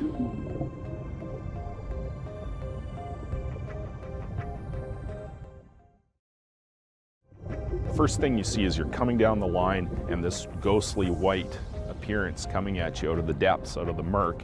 And of course, it's Metridium. It's these giant white anemones that are everywhere, carpeting the wreck, and mostly white. There are a few other colors, but they're definitely one of the signatures of the Pacific Northwest and on, on these wrecks. And then, of course, lots of fish. And one of the signature fish we see are the rockfish family. These are these spiky looking, uh, long lived, quite territorial for the most part fish. And I think for me, one of the most exciting moments was seeing a species I hardly ever see anymore, the yellow eye rockfish, which is a long lived, lives to at least 128 years. After these wrecks sink, they stabilize, the invertebrates are attached, animals are starting to reproduce, fish populations are starting to grow, and that's what we're seeing now in the Nanaimo area. They have, I think, a golden period. And the golden period where they're just loaded with marine life happens in the decades, not in probably the first decade, but the second, third, fourth decade, it becomes loaded with marine life. These wrecks are just probably coming into their golden period now, 20 years on, uh, and we're going to see massive invertebrate life. The sponges are the thing that really strikes you. When you see a cloud sponge as big as a Chesterfield, that's an exciting thing to see. And all the animals that are then inside that and living in that, that's just a life layered on life. And that's the exciting thing about these wrecks, because a lot of them have gone into places that are just a mud sand bottom, reasonably monotonous environment, uh, not a lot of structure, not a lot of hard substrate. And uh, now we've, we've put these wrecks in and all these other things become possible.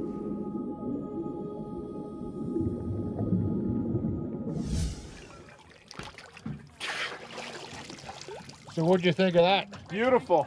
That was that was fun. That was a great dive and a lot of diversity and a lot of density of life on that wreck. Everything we put in the ocean is a mixed bag, and artificial reefs are probably on the plus side of that mixed bag. Are they absolutely benign? Probably not. Artificial reefs, if they're properly prepared and if they're sunk in the right place, can probably increase biodiversity and provide habitat that wasn't there before. It's not a new concept. People think that, you know, recreating the wheel here. It's not so. I mean, artificial reefs have been used for centuries to enhance marine life, uh, especially fisheries and so on. Using these ships as a place for animals to grow and for divers to enjoy, I'm, I'm okay with that. I think it's a good thing. I mean, there is opposition, obviously, to these projects. A lot of these people, however, have never been on an artificial reef. They've never seen one. We have a very good track record here in BC as far as these projects go. I mean, we're, we're one of the world leaders in doing this kind of thing. A lot of places in the world, they look to BC, to what we've done here, for their inspiration and in doing these, these projects. You can't just take a vessel out there and, you know, knock a few holes in it and send it to the bottom. I mean, that's not going to do. And I think nowadays uh, there's no public appetite for that. The government's not going to let it happen. And in many of these ships, when they're sunk, they're actually cleaner than, than the bottom of most of the hulls sitting in a marina. I think if it's done properly, uh, ship reefs are, are a great thing for the environment.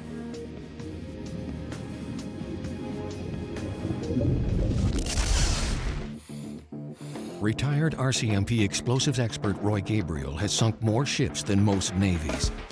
Gabriel has overseen the demolition of a half dozen Artificial Reef Society projects. But we've got to get this tank out of here. It's either that or open it up and clean it out, and that takes too long. Getting a vessel to the bottom quickly and upright is a technical challenge. It takes experience and lots of explosives. This is a sample of the uh, copper flex linear. It's designed and built specifically for cutting steel. It's RDX explosives on the inside with a, a copper sheeting around the outside. The shape of the charge controls the massive shock wave that's produced.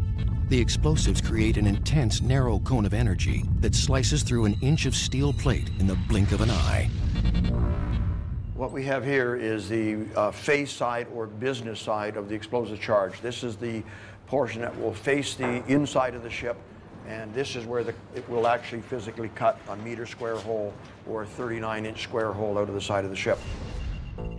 The explosion initially forces the steel outward. Water pressure pushes the plate back in and the ship floods. It usually takes weeks to plan and assemble the explosives that sink a big naval vessel. A dozen or more custom-designed panels blow meter-square holes in the ship. They're carried, sometimes down several levels, to the bottom of the ship and fitted into place. Let me get one in the other side here. Okay, that'll stay there, Bruce. Each of the charges is built to fit precisely against curved hulls. For the flex linear explosives to work effectively, they need to be an exact distance away from the steel. When the engine room, boiler room go off, to start with, these charges would jump right off the ship because there's so much shock wave and twisting going through the ship as it fires. All of this timber basically just gets, you know, blown into chipwood. Sinking an enormous warship requires that the explosive charges be precisely timed, fired in pairs inside the ship's hull just below the waterline.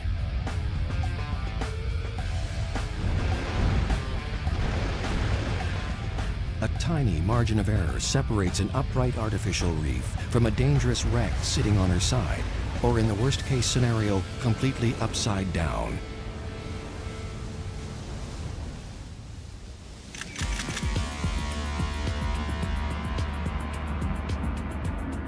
This is the former USS Spiegel Grove, an artificial reef in the Florida Keys.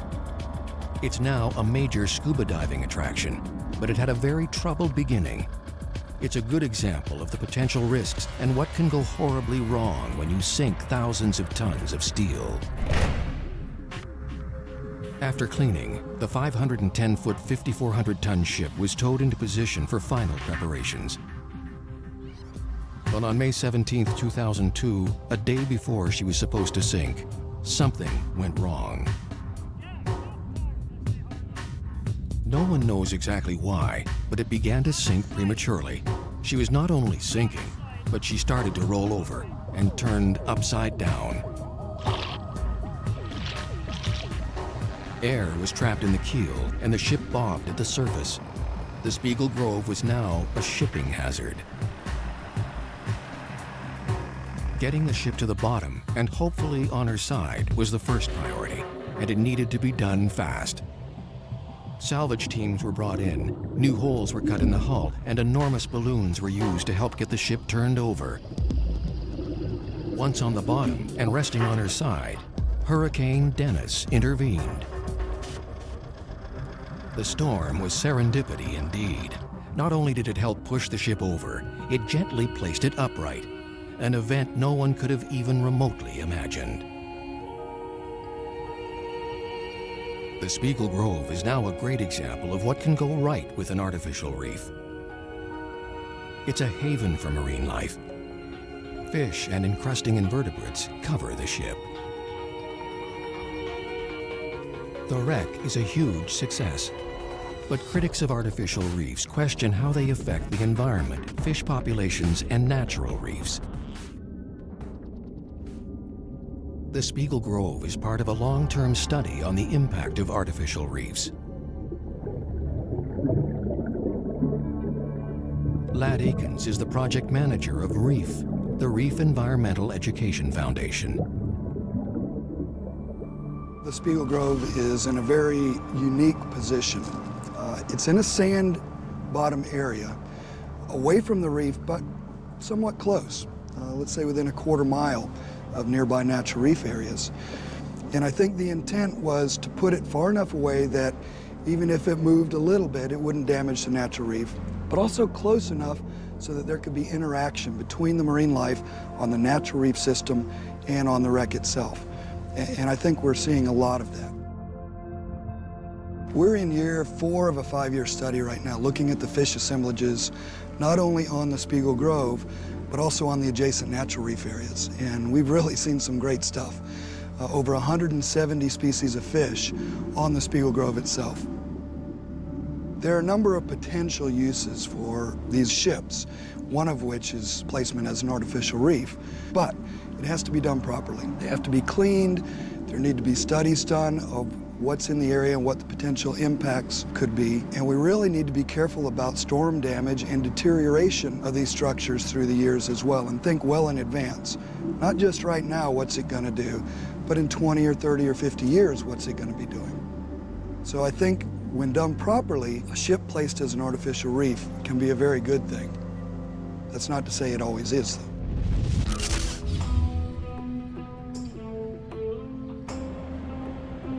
In Virginia, Texas, and California, hundreds of mothballed ships are part of the U.S. Defense Reserve Fleet.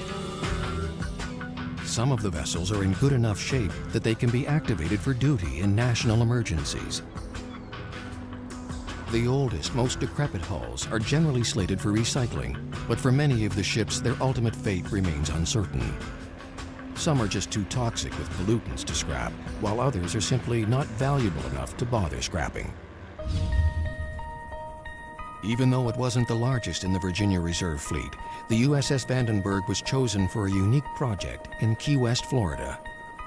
The Vandenberg project was conceived back in, I guess, 1996. We had been put on notice as a community from the National Marine Sanctuary that they were going to allow us to put a large shipwreck down here in the sanctuary. And so we made a decision and we picked the Vandenberg out of an inventory of about 400 ships. We liked it because of all of the topside structure. We figured it would hold more fish that way.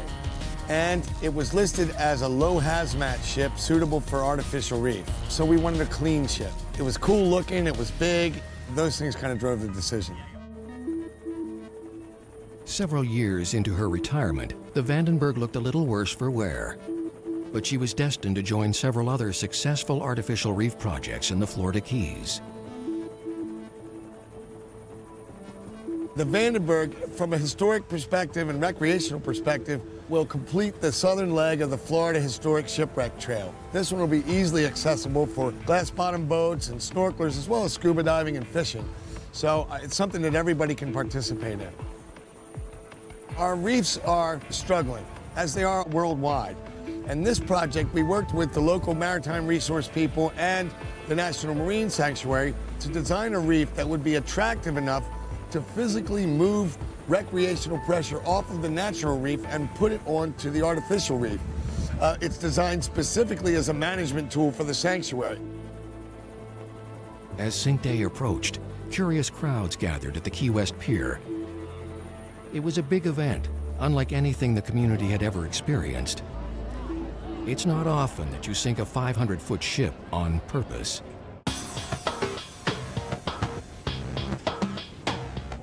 Right up until the last minute, there was still an enormous amount of work to do. To understand the work that's been done to bring this ship fully compliant with a very strict and hundreds of pages of long best management practices from the EPA, the, the Marine Sanctuary, Florida Fish and Wildlife, Florida DEP. There's about 18 different government, local, state, and federal agencies involved. It's very difficult, if you've never been through this, to understand the absolutely breathtaking amount of work that it takes to get this, this, this kind of project done. There's machinery, uh, hundreds of thousands of gallons of fuel, cleaning all the systems, pulling out vents and doors and a million feet of wire. We're working 12 and 14 hour days straight through to get her ready and, and have her properly prepared, fully compliant, ready to be deployed.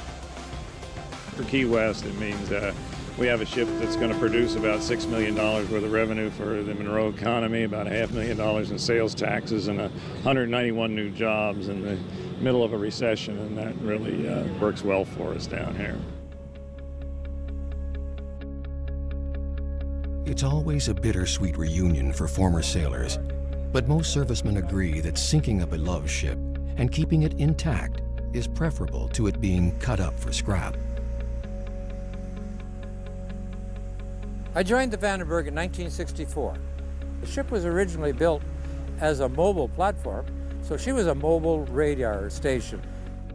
You couldn't put land-based radar stations every place in the world, but you could move the ship just about any place you wanted. The people on board did the data collection. And their job in doing that was to get as precise data as possible. Uh, we used to joke and say we could track a basketball at a distance of 500 miles. The Vandenberg was important uh, because it contributed a lot of data on both American missiles and foreign missiles that was used throughout the Cold War in determining the balance of terror. Did we need more sophisticated missiles? Did we need bigger missiles? And by the same token, what were the Russians doing? What were they building? And how did they work? Uh, all that kind of information came from this ship. Uh, there's Russian wording above my head because this ship was a movie set for a movie called Virus, where it played the part of a Russian missile attacking ship. Okay, and it did a good job.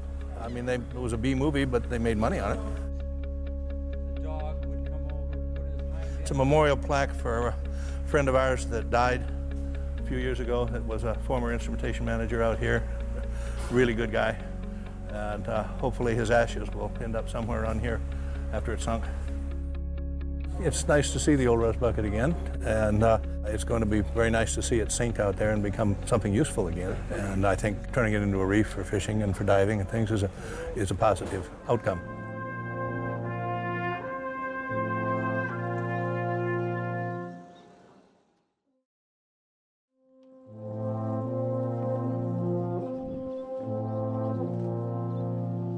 As with all Navy ships, whether they're American, Canadian, or other nationality, military ceremonies are usually solemn affairs. Countless sailors lived and died on these once proud warriors.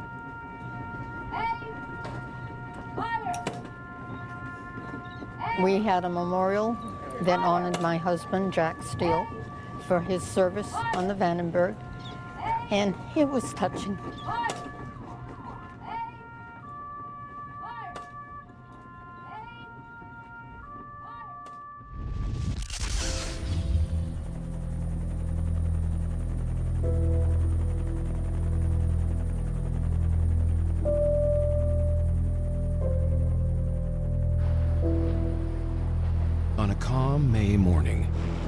Observers made the trip to the sinking site.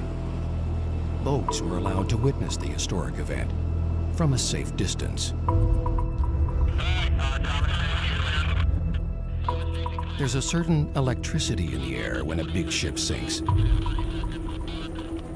A spectacle like this is unlike anything most people will ever see.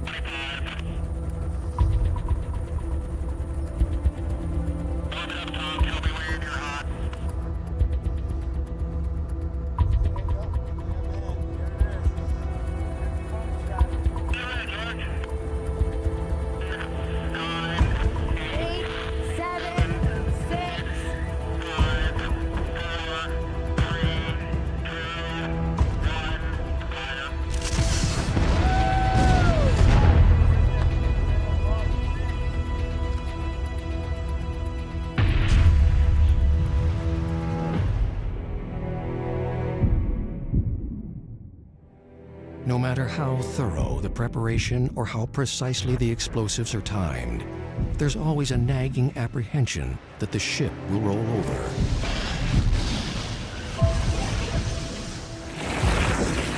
It can be an extremely tense few minutes. The ship sank in less than two minutes, one minute 44 seconds to be exact. The demolition team did an outstanding job, but even they had no idea the Vandenberg would sink so quickly. Awesome. It looked to me like it's supposed to look. I've seen a lot of these big ships sunk, and it really, it really looked like everything went the way it was supposed to go.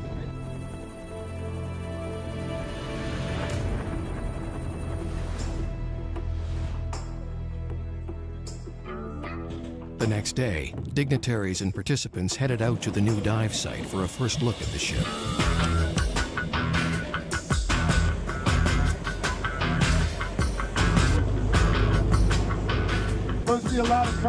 This way.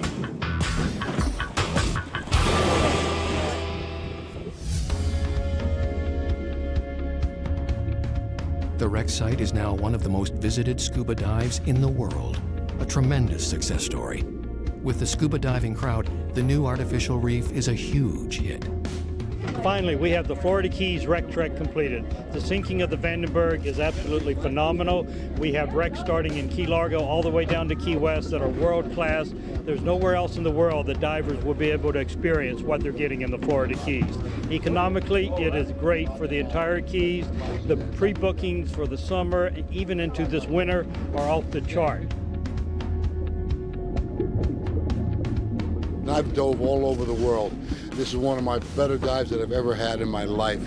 I'll continue coming back here, and it's a great opportunity for everybody also in, in the whole world to see what a beautiful artificial reef we've dropped down here. It's the best thing we've done in a long time.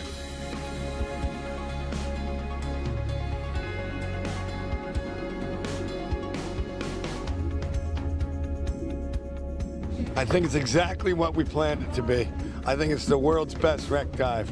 That is fantastic. I think we, what do we have, 70 feet of visibility down there today, maybe 60. Real clear water, a little bit of current, and there's just a lot to see. It's just, it's just incredible. Everywhere you look, there's some other cool part of the wreck sticks up at you. I think the Vandenberg will live up to all the promises that, that have been made.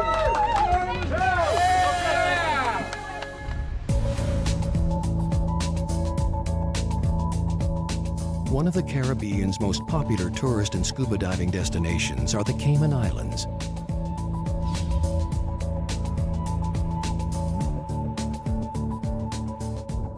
While a handful of shipwrecks here complement natural coral reefs, divers on the main island of Grand Cayman longed for a big new shipwreck of their own. Their prayers were answered with the long-awaited arrival of the USS Kittiwake. We picked the Kittiwake from a fleet of about 300 ships that were in mothball. We toured a lot of the ships. This ship was a great ship because it had a great history in the Caribbean already. It served some time in the Falkland Islands, recovered the black box, the Challenger explosion. So it had a good history. It's only going to be 15 feet from the surface, so you're going to have a lot of beautiful snorkeling adventures and then also diving adventures are going to be endless dives. The day before the sinking, ex-sailors and tourists were allowed to visit the retired submarine rescue vessel. It had been nearly 30 years since former navigator John Gladstein set foot on the ship. When was the last time you did that, David? Been a while. Let's uh, let's go back to the recompression chambers. All right, these are the recompression chambers this had a hatch, there's the hatch here and there, and they could decompress this side, leaving the inside uh, at full compression, and pass supplies in and out, and whatever they needed to do, people in and out, whatever they needed to do. Making an artificial reef out of thing like this, uh, rather than uh, reclaiming the steel, uh, I don't know the science, but it seems obvious to me that it's better. This ship was always intended to serve divers, and this ship existed to serve divers. And it's great that she's going to continue to serve divers. For project manager Nancy Easterbrook, the Kittiwake endeavor was a labor of love. It wasn't always a smooth process, but finally getting the ship to the bottom safely and upright would be a huge relief. Tomorrow, we're finally going to sink her. I've been elated by this project, frustrated by it. I have been uh, overjoyed and all kinds of other things, but the only thing that's ever really scared me is to get her on her spot down in the ocean, upright where she's supposed to go. But you know, we got good people doing this. All precautions have been taken, so I'm really very excited about tomorrow and cannot wait until we get her down in the bottom as the new diving attraction and snorkeling attraction for the Cayman Islands. The sinking of the Kittiwake was a unique project. Unlike artificial reefs in Canada and Florida, the ship had to be sunk without the use of explosives. The Cayman Islands are one big marine park, and the sinking site was shallow and close to shore. The percussion of explosive charges can kill fish and other reef creatures in the vicinity of the sinking. So instead of using explosives, the ship had to be flooded manually. Strategically placed holes, both for flooding and for diver access, were cut along the side of the hull.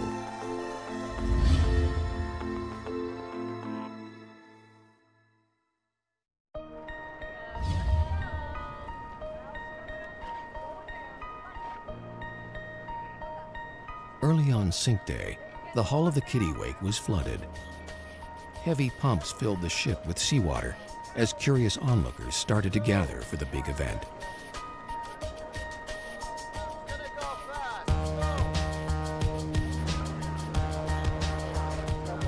Once the surrounding sea started to overflow the newly cut holes, the ship went down very quickly.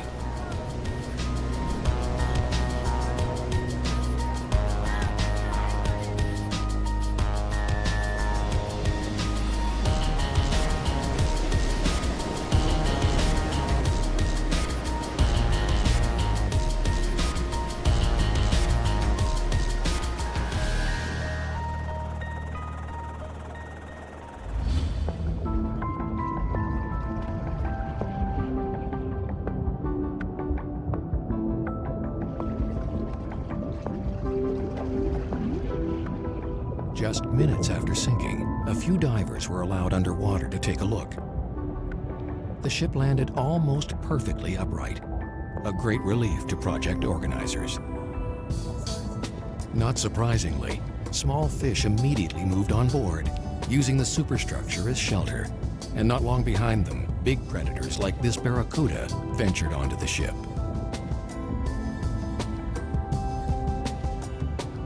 In a short period of time, the Kittiwake would become one of the top attractions in the Cayman Islands, both for fish and for tourists.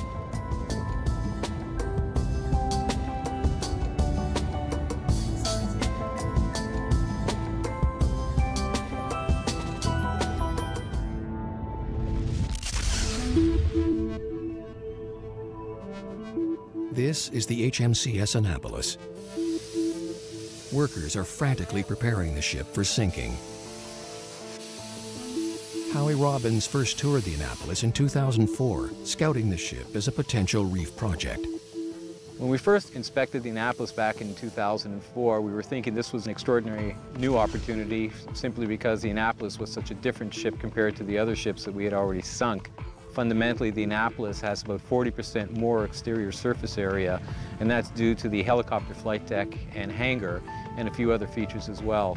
Although it's the same length and width as our previous vessels, we believe the Annapolis offers a lot more habitat uh, space, which we think will be beneficial for marine life. The Annapolis project has been fraught with problems, the first of which was the global financial meltdown of 2008. Scrap salvage is the main source of revenue for projects like these, and metal prices plummeted. Even with budget shortfalls and countless delays, the Annapolis project soldiers on with the help of hundreds of dedicated volunteers. Each weekend, they head out to the ship, cutting access holes, cleaning compartments, removing debris and scrap metal, whatever it takes. Our best estimate is we have over 1,000 volunteers over a three and a half year period and an estimated 17,000 hours uh, put into the project. With just a week to go before a scheduled October 2012 sink date, the ship is still not quite ready. There's more cleaning required, oil and grease to be removed, and most of the diver access holes are not yet cut. Tons of scrap steel and other metals remain on board. There's at least two more months of heavy labor to be done. Strict new environmental inspections may now delay the sinking well into 2013. Set to sink in a sheltered bay just a few miles from downtown Vancouver, the Annapolis project has also been plagued by protests and opposition. Many people feel that sinking a ship on purpose is akin to throwing a big tin can in the water. Garbage disposal on a grand scale. Every time you do something out in the marine environment, there are going to be people who are for it and people who are against it. And it doesn't really matter whether you're talking about aquaculture, about sinking a, a shipwreck. Is the sum total of what we're doing when we sink these ships, is it good or bad? I'm not an unbiased person where this is concerned. I think uh, for, from my viewpoint, uh, it's probably a better thing. It's a substrate, it's a place for animals to attach, and if we understand the wrecks can be a haven, then other places can be as well. Uh, we have high hopes for the Annapolis. I think she's going to be uh, well-traveled and well-visited, and also she's going into an area that's kind of mud sand bottom. Undoubtedly, she's going to become a magnet that will attract, retain, and amplify uh, marine life in the area. With more hard work and a bit of luck, the HMCS Annapolis will soon be resting on the seafloor. For now, like countless other warship relics, it awaits an uncertain fate. When it does sink, the Annapolis will serve its final mission as a reef of steel.